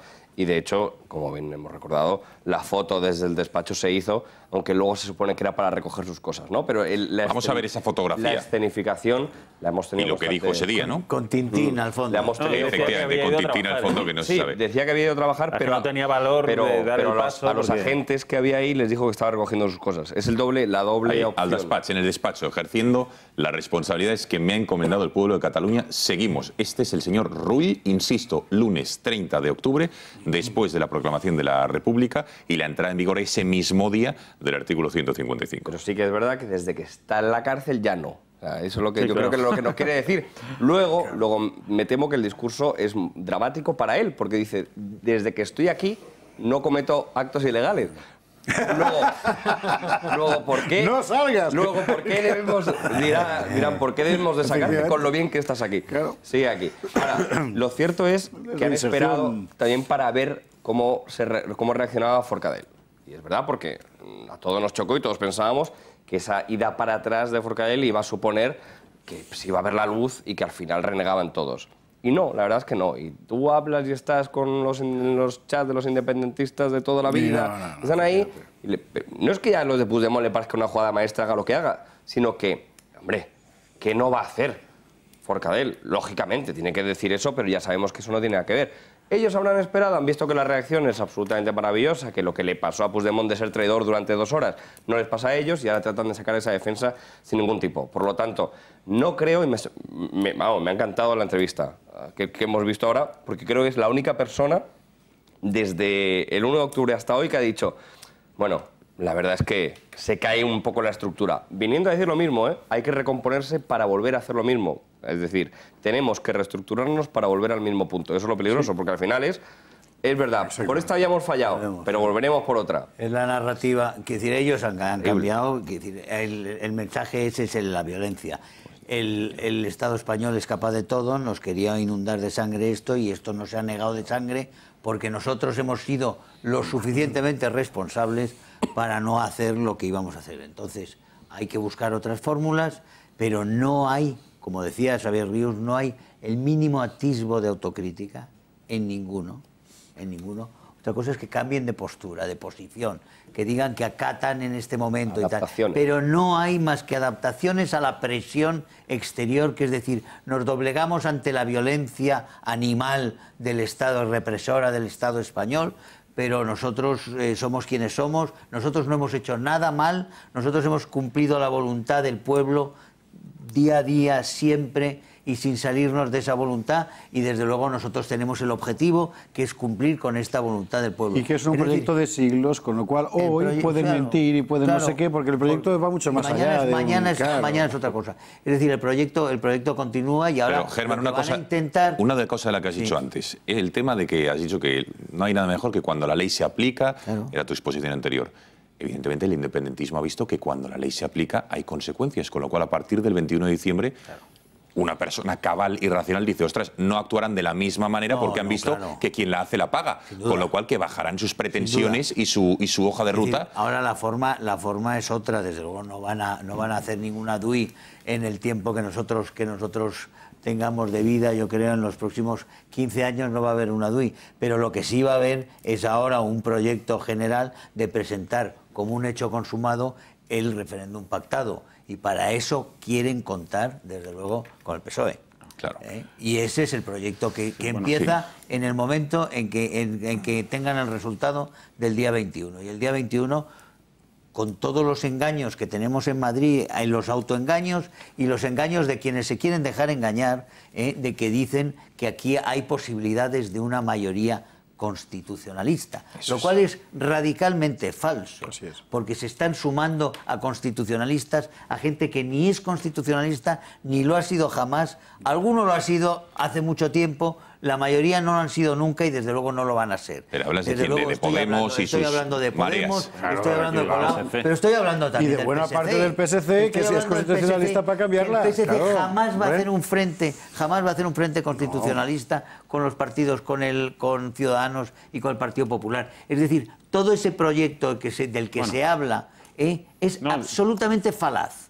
Si Es- no sumaran, existe. Germán, si sumaran... no, aunque sumen, Aunque es que no lo sumen- va a ver. Bueno, es que no lo va a eh, ver. No, lo va a ver, pero entonces Pe- Pedro Sánchez que se vaya dedicando a otra cosa Bueno, que no Pedro sea la Sánchez, política. ya veremos, ya veremos. Claro, porque eso Ya le pasaría una factura inasumible, creo yo, Bueno, al PSOE bueno, a bueno, nivel aquí nacional. en este ¿eh? país hay cantidad No. de facturas que son al final Dada- no, pero perfectamente da- asumibles. Dada la ¿eh? situación actual, yo creo que eso, eso le, Perfectamente pasaría, le asumibles. pasaría una Lo que es una mentira no fundamental. Pero- pero él- ha presentado- se quedará termino, con la que más le termino. interese. Hay una mentira fundamental en la, en, la, en la proyección esta, que todo viene de la mala conciencia de haber convocado estas elecciones mucho antes de lo que debieran, mucho antes de que se crearan unas condiciones para unas elecciones razonables en un contexto razonable, porque después de la violencia, violencia verbal, violencia de todo tipo, violencia verbal que sigue desplegando, por cierto, la televisión, la televisión catalana, la TV3, etcétera, etcétera. En este contexto, unas elecciones el día 21 de diciembre no cumplen los mínimos requisitos en ningún sitio, para ningún, Bueno, para ningún ver, sitio. antes Y la desde palabra y Benjamín. desde- perdona, y, y digo, y el resultado, desde luego, nunca va a ser una mayoría constitucional. Ojo, la número dos, de Esquerra Republicana. Atención a lo que decía hace escasos días, tres días, al respecto de eh, lo que ocurrió en aquellos días intensos, justo antes de la proclamación de la Declaración Unilateral de Independencia. El día anterior, saben ustedes, lo hemos contado aquí con todo lujo de detalles, que Carles Puigdemont estuvo a punto de convocar elecciones y tenía unas garantías determinadas, como Íñigo Urkullu intermedio, etcétera, etcétera.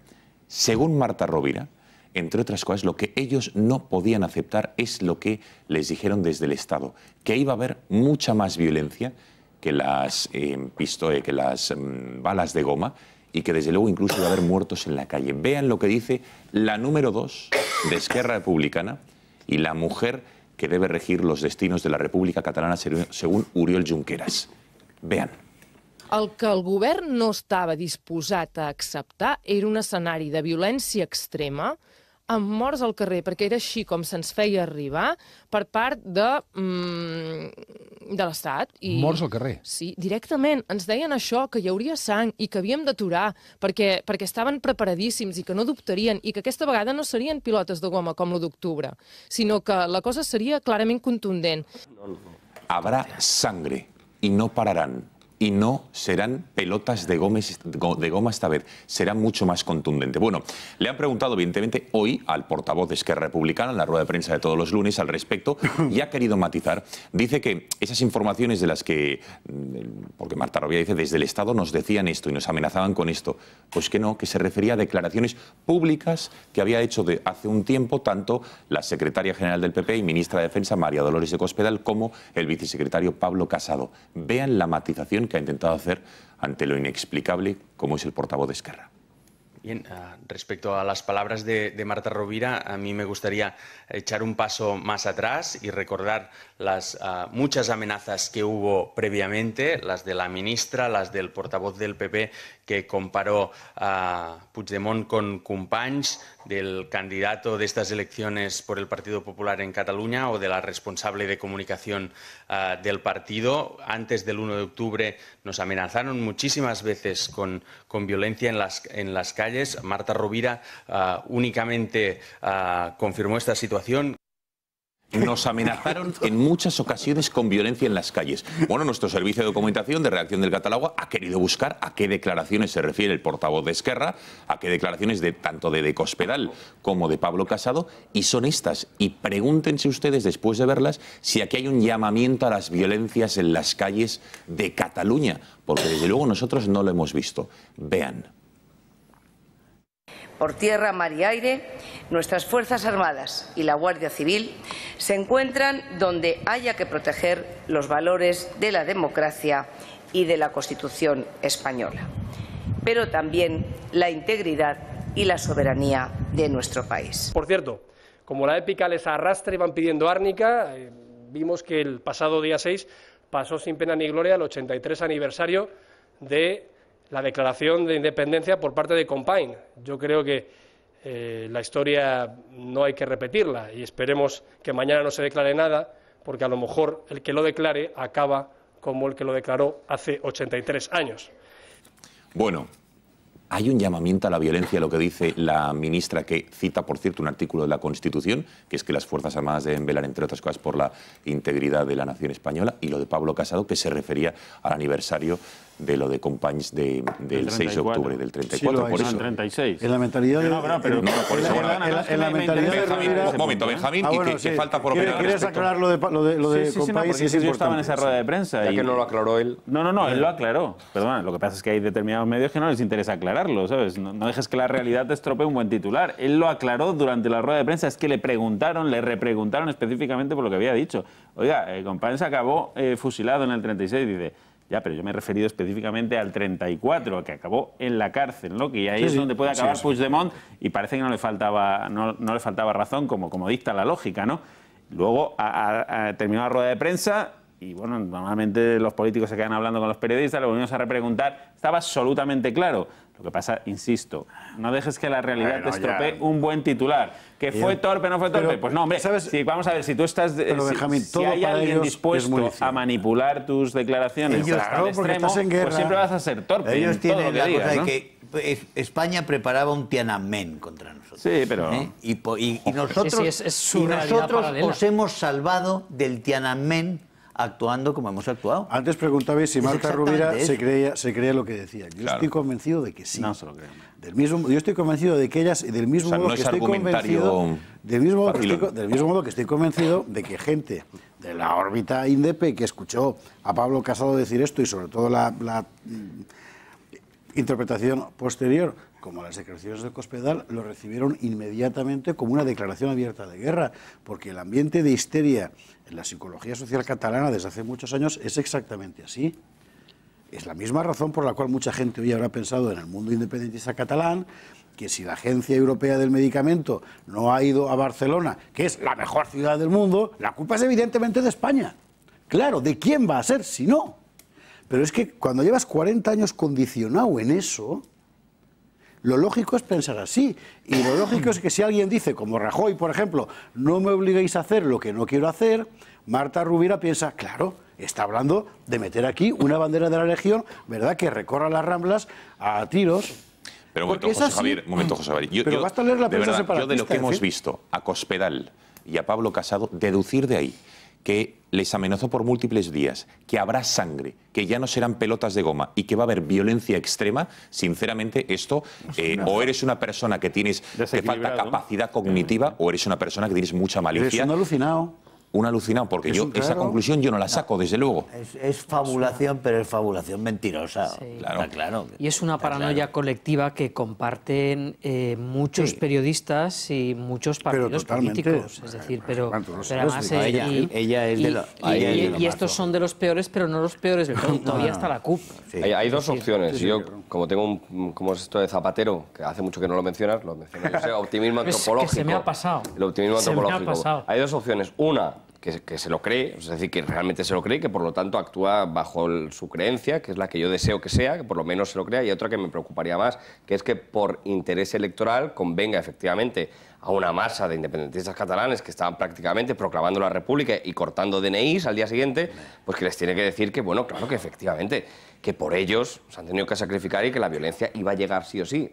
Me quedo, me quedo por- con mi positivismo, con que ella de verdad que lo cree, porque la he visto llorar, la he visto sufrir, entonces considero que es una persona realmente convencida de lo que está diciendo, a pesar de las evidentes pruebas. Y, y lo que quería decir es que lo que más me duele de todo esto es que desde un posicionamiento de izquierdas no, no, no puedo encontrar un argumento para separarme de lo que tendría que ser o lo que es teóricamente la derecha ahora. Y eso es lo que es terrible para la izquierda. Perdona, ¿puedes, ¿puedes explicar esto? No, no, quiero decir, quiero decir yo te, estoy en esta mesa. Estoy en esta a ver, mesa. un momento, contextualizo. Sotillos hoy ha discrepado poco en esta mesa, con lo cual yo creo que está buscando el elemento discrepante para irse tranquilo a casa. Está un poco Déjame, déjame terminar. No es buscar el. eh, al revés. de acuerdo con es todo, Terch. es todo lo contrario. Eso es. No, luego, no- luego nos insultamos o lo que sea para que parezca. Pero lo que quiero decir en serio, que, que lo preocupante, desde una perspectiva de izquierdas, es que cómo sales a defender nada Lo que mismo no que sea. Rajoy. Quiero decir, no, lo mismo que Rajoy, por supuesto. Yo, yo la he puesto un par de veces. Digo, lo que no perdonaré, lo que no es- pernonaré nunca al independentismo es la cantidad de veces que le tenemos que dar la razón a Rajoy. Y eso es terrible. Porque no hay izquierda, porque yo la busco, porque de verdad, como votante, ya ni como político Pero ni es leche, yo la izquierda ni busco derecha, hay y no país, sé cuál es nación. la, no sé cuál es, pero, pero no es falso. Hay nación Quiero por decir- quiero encima decir, de- de porque evidentemente hay una nación por encima y una política de Estado. Y ahí estamos todos, y ahí coincidimos Debiera todos, haberla. la Constitución, la ley. Pero a la hora de aplicar esa, esa ley, que es una, pero luego tienes que hacer una propuesta política. La ley está, pero la propuesta política es la que a mí me falta. Pero me- de Rajoy me falta. Yo no sé cuál es la propuesta política de Rajoy, pero no se la pido Tampoco, a Rajoy. tampoco pero a la izquierda se la pido. Y, la- y las propuestas políticas que tengo de la supuesta izquierda es algo que no sé cuál es. Porque no sé cuál es, pero porque, no porque no la diga, sino porque como son todas a la vez, no la entiendo. La de Podemos en general, pues eso, depende del territorio, bueno, depende del territorio y la calle de Madrid donde preguntes a uno. La Izquierda Unida, pues debe estar subsumida, supongo, como las enmiendas. La del Partido Socialista depende, que es plurinacional, que es federalista. Es decir, un ciudadano Que entiende la ley y que la quiere respetar y dice, bueno, ¿y cuál es el proyecto para España colectiva? Pues se queda mirando a Vaga y dice... Sí, momento. Sotillos, has dicho, no, no, no, ¿Eh? no, has dicho, pues- Sotillos, que la Constitución, la ley, y me ha atención, la nación está por encima. Sí, es sí, decir, bueno, tú eres de una sola- única nación, ¿no? En- Bueno, aquí en España. Yo por encima tengo la familia, pero vamos. Lo que si Ya, quieres, pero que en España es una sola nación, ¿no? España es una nación. Sí, un España libertario. es una nación, sí. sí. Ah, No, tú has, has visto, Ah, has visto a Pedro Sánchez. Pero lo de Pedro Sánchez con lo de Pedro Sánchez con Idoia Mendía, donde cuando ha sido esta mañana o ayer, el Foro Nueva Economía este de, de Euskadi. Es muy, es muy impresionante. Esta mañana, yo creo. Ha sido esta Diciendo mañana, que- porque ha tratado de explicar cuál es su concepto. O sea, es un número de Lelutier. Es increíble. O sea, no puede. Pero es lógico que no pueda porque no lo tiene. Entonces, eh, es que. eh, que- No, sí lo tiene, Pero pero se no puede se sacar. No, pero se puede sacar una buena reflexión. Es decir, su idea es: sigamos avanzando en el autogobierno porque eso es lo que ha dado resultado en España. Vale. A lo que acabamos de asistir precisamente es a que ya no se puede avanzar ni un paso más porque te caes, ¿no? Entonces, Bueno, se puede volver al Él estatuto. tiene una idea, bueno, él tiene una idea que es algo así como la expansión del universo, es decir, es infinito ¿eh? y cada vez se van alejando más los, los- los- pero, pero un país no es, un- no es- no es el universo. Entonces, exactamente qué es lo que quiere. ¿Independencia a plazos? Tampoco. El otro día decía, yo soy, o sea, el PSC es el puente entre España y Cataluña. Como si fueran dos realidades distintas, e IZ, el puente, un breve puente por otra parte. No, pero todo lo que dice Alberto está lleno de sentido, porque es que es verdad, pero ojo, es que a la derecha le pasa igual. No, pero lo he dicho. Claro, y a la derecha le pasa Pero igual. lo decir, En la idea del Partido Popular en materia de política autonómica, Tienen. Tienen. Oye, Esparza, Calcula. el fortalecimiento de España, he de recordarte, permíteme, que la concepto. aplicación del 155, la destitución Sí. del, del gobierno, la disolución de la... Esa era una idea en solitario mantenida por el Partido Popular en el Parlamento, al que felizmente después se, sumó unió Ciudadanos, el Partido. Socialista Bueno, y bueno, Ciudadanos pero Miguel, en Miguel, solitario. Miguel, Por tanto, pon, hay- pon hay- a Albiol y a Millo juntos a discutir el asunto y ya verás qué risa. Pero, ¿Cuánto eh, tiempo pero se Son dos escuchado mundos hoy- diferentes. He escuchado hoy a Pablo Casado decir en, en el, en el Partido Popular que su idea de España es la España de las autonomías que tenemos ahora, que a lo mejor ahora no te gusta, pero esa es su No, idea. no, A no. La a idea, parece la idea de Pablo, pero esa es su la idea. idea de Pablo la conozco Oye, perfectamente. no, Yo he escuchado oye, a Soraya decir que la reforma de, de- de que la financiación se tiene que reformar toda ella y que la reforma A constitucional ver, un se segundo, tenemos que hacer No, no, última pausa de publicidad. Ahora sí, última, un minuto, como dice. Germán, y estamos de vuelta. Venga, hasta ahora.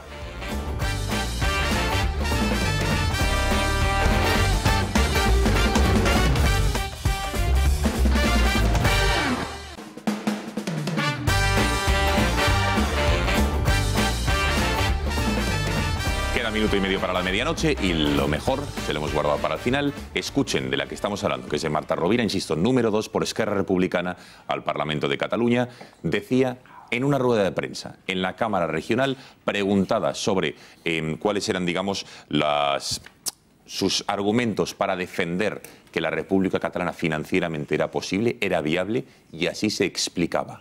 Ojo. Eh, France 24, soy una televisión francesa y quería saber cómo usted piensa um, financiar la separación con España. Pues buena pregunta.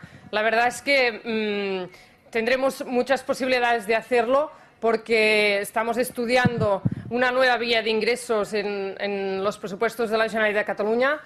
En- contaremos también con una, una agencia tributaria propia ah, y, por lo tanto, empezaremos a hacer la liquidación y recaudación de nuestros impuestos y a dedicar ah, en lo más am, riguroso que sea posible a invertir ah, los actuales recursos, tanto humanos como también mm, de la- institucionales de las administraciones, pues de la mejor mm, manera posible para, para que el presupuesto dedicado a esta transici- transición nacional sea justo, sea estricto y, y, en fin, sea lo que, lo que toque para, para financiarla. Es decir, ni pajolera idea. Eh, Esta es la que supuestamente debe llevar las riendas porque es la número dos de Esquerra o debía tener un peso importante, secretaria general, digo, de organización de esta formación y así defendía. Pero por la- eso, Gonzalo, cuando decimos si mentía antes o es que se lo creía, esta señora tampoco se puede creer lo que estaba diciendo ahí, ¿no? De cómo iba a financiar la, la independencia. No se lo cree, era una estrategia política y le han pillado, no sabía qué decir. Y aquí, pues también está utilizando una estrategia política, ¿no? Porque sabe que al independentismo casi todo le, le- le va- le vale, ¿no? Casi todo. Y cuando digo casi todo, es que yo tampoco estoy de acuerdo en que, bueno, que da igual lo que hagan, que nada les va a pasar factura. Yo creo que hay un cúmulo de acontecimientos que sí que tienen que pasar factura a determinada parte del independentismo. no es- A la- No es a la- a la base perdona. social te refieres? Sí, sí, sí. Ya, ya. Sí, porque Sí, sí, cuando tú ves, cuando tú sí, ves cierto, a un es presidente fugado, cuando ves a otro que está en la cárcel, cuando ves a otra presidenta del Parlamento catalán y expresidenta de la ANC que, que se baja los pantalones hasta el suelo y traiciona de alguna forma la causa independentista, cuando ves a dos consejeros en la cárcel que se lo piensan tal, cuando ves a Santivila que, que- que da marcha atrás en el último momento o intenta dar marcha atrás sin mucho éxito, y cuando ves también que se acerca la cita electoral y Junqueras y Puigdemont van a tener que competir por Sí, los mismos a mí- votos, a mí lo que me- empezarán, yo pronostico que empezarán, y no tardarán mucho, a atacarse mutuamente. Y todo esto, todo esto de yo estoy en la cárcel y tú estás en, en- en libertad en Bélgica, todo esto se lo van a pasar por la cara el uno Pero al otro tesis de la porque pelean por los mismos pero la votos. tesis de la división y mucha gente, independentista la hemos cuando ve todo siempre, esto, Germán, yo creo que no mucha gente cuando vea todo esto no va a votar, obviamente, ni al Ciudadano, ni al PSC, ni va a votar al Partido Popular, Pero pero, a lo mejor se quedan en casa. casa, ¿eh? No lo sé, no sé si se quedarán Y en casa, pero Y al revés, Ya creo pasó, también que el. Ya llamado pasó eso, constitucionalista pero la- el está muy proyecto- movilizado. El proyecto, Y veremos naci- el el proyecto 21 el nacional 21 de diciembre España, de perdona que me ponga, porque eso sí que me pone nervioso, que el proyecto nacional de España, con la situación de crisis en que estamos y hemos estado, ahora se base en que desmovilizar a los independentistas, No, Germán, me es parece que- una no. declaración de quiebra. No, no, no ¿eh? es ninguna Porque ha sido de quiebra, El no. arriolismo, Es que el arriolismo todos estos de años nos ha llevado ¿Pero qué quieres paso a paso. Pero vamos a ver, Germán. No, que lo que- lo que este quiere hacer momento, Germán, este creo yo, momento. es- momento, momento, no que cosas. A ver, a ver. Toda esta, esta dinámica... A ver, No, no, señores. espérate, voy a terminar. Concluye Germán, a el ver, venga. proyecto, El proyecto nacional español que ahora mismo existe y que está movilizado, ese sí está movilizado. Es el que Sin tiene duda. que dar, Claro. tiene que dar no la esperanza de volver- de volver otra vez a la situación anterior, sino de verdad movilizar para que haya una para que haya una libertad en Cataluña como en Valencia, como en otros sitios para estudiar en español. Para que cambien las cosas sustancialmente en todas las autonomías y para que haya un poder del Estado que recupere competencias. Ese es el llamamiento en este momento de la nación, es lo que es capaz de movilizar. No se trata de desmovilizar a los eh, radicales, sino se También. trata de darles, pero, Pero se trata ante no, no, todo, pero vamos a ver. ante todo se Pero, trata pero, pero déjame de que te darles un conteste. A ver, proyecto venga. en Que el si que no, no puedan puedo. creer. Que estamos fuera de que tiempo, venga. creer. Pero Y no, no, no. Pero vamos un a ver. proyecto el independentismo. A ver, contesta Benjamín, venga, que estamos fuera de tiempo, Como objetivo, No, como me parece, objetivo me no, parece es que eso correcto. tiene que ser política no, pero eso, práctica. eso de, maña- de- hoy a mañana no lo vas a De poder hacer. El independentismo, bueno, pero déjame, que, que, los vayan a las urnas para que eso, para que recuperar, si no... la libertad en la enseñanza, que vayan a las urnas. A ver, Germán, venga, que se explique Benjamín, que- venga, yo 30 lo que digo segundos, es que el Benjamín, por favor. independentismo va a seguir existiendo mañana, haga lo que haga el. Estado. Y mañana y Sí, pasado mañana y dentro de cinco años va a seguir menos, existiendo. Hay que lidiar con eso. Hay que lidiar con el independentismo. Cuando hablamos de, bueno, es que las elecciones han sido muy pronto. Hombre, yo creo que no. Pues yo las creo que elecciones sí, son yo cuando creo que tienen sí. que ser, creo yo. ¿eh? No. Cuanto antes mejor. No, porque porque han sido en porque seis si no, meses. da igual hacerlo dentro de seis meses que dentro No, de dos, porque que en este dentro de momento uno. TV3 sigue funcionando Cuanto igual. antes mejor. Y es una Porque si televisión lo de haces, intimidación, no. Porque de claro, terror. no las puedes posponer sin Las- edie, sin fecha. las- Lo tenemos aquí tres años mientras calmamos No, la tres situación. no, Benjamín, pero todas hasta las seis meses Pero te ¿y por daba qué dentro opción de la seis meses aplicación del es tiempo todo? como ¿Por qué dentro de seis No, pero que no digas tres años. Claro, y pero los que, sea- que seamos también. rigurosos. El claro, 155, claro. la aplicación tal dentro cual, de y tú seis estabas meses. en el Senado, te daba hasta seis Sí, te meses. daba hasta seis Y- una prórroga si el Claro. gobierno lo pedía. No decía tres años. No, no decía Que tres años. son ya. Pero ¿por qué dentro de seis meses será mejor? Yo creo que no. Que la, ¿Por hombre, qué? yo- yo Por- que entre otras cosas, porque te da tiempo a sanear judicial. Pero. Benjamín, por Dios, No, no de no, hablar. Porque te da tiempo que a sanear. No podemos acabar con esa Porque te da tiempo a sanear judicialmente las estructuras de coacción. Escuchamos a Esparza, venga. Entre otras cosas, No, porque no se te ha entendido nada. nada porque te han interrumpido. Perdona, di. Entre otras cosas, había que haber esperado porque ese periodo te da tiempo a sanear judicialmente las estructuras de coacción que el independentismo tiene montadas en la policía, en la educación y en la comunicación. Y en la policía hay que En ver lo que ha seis pasado. meses, Por ejemplo, en hoy, seis meses. Judicialmente sanearlas. Mira lo que se ha descubierto hoy, por ejemplo, de los papeles. Sí. Claro, Claro. que te da tiempo. Puedes perfectamente eliminar estructuras. Yo habría sido partidario, por cierto, de esperar Venga. dos años, no seis Bueno, bueno, nos tenemos que ir, nos tenemos que ir, venga. durante Claro. más tiempo. Esto es, Sí, esto precisamente es Y ahí funcionaría lo de Benjamín.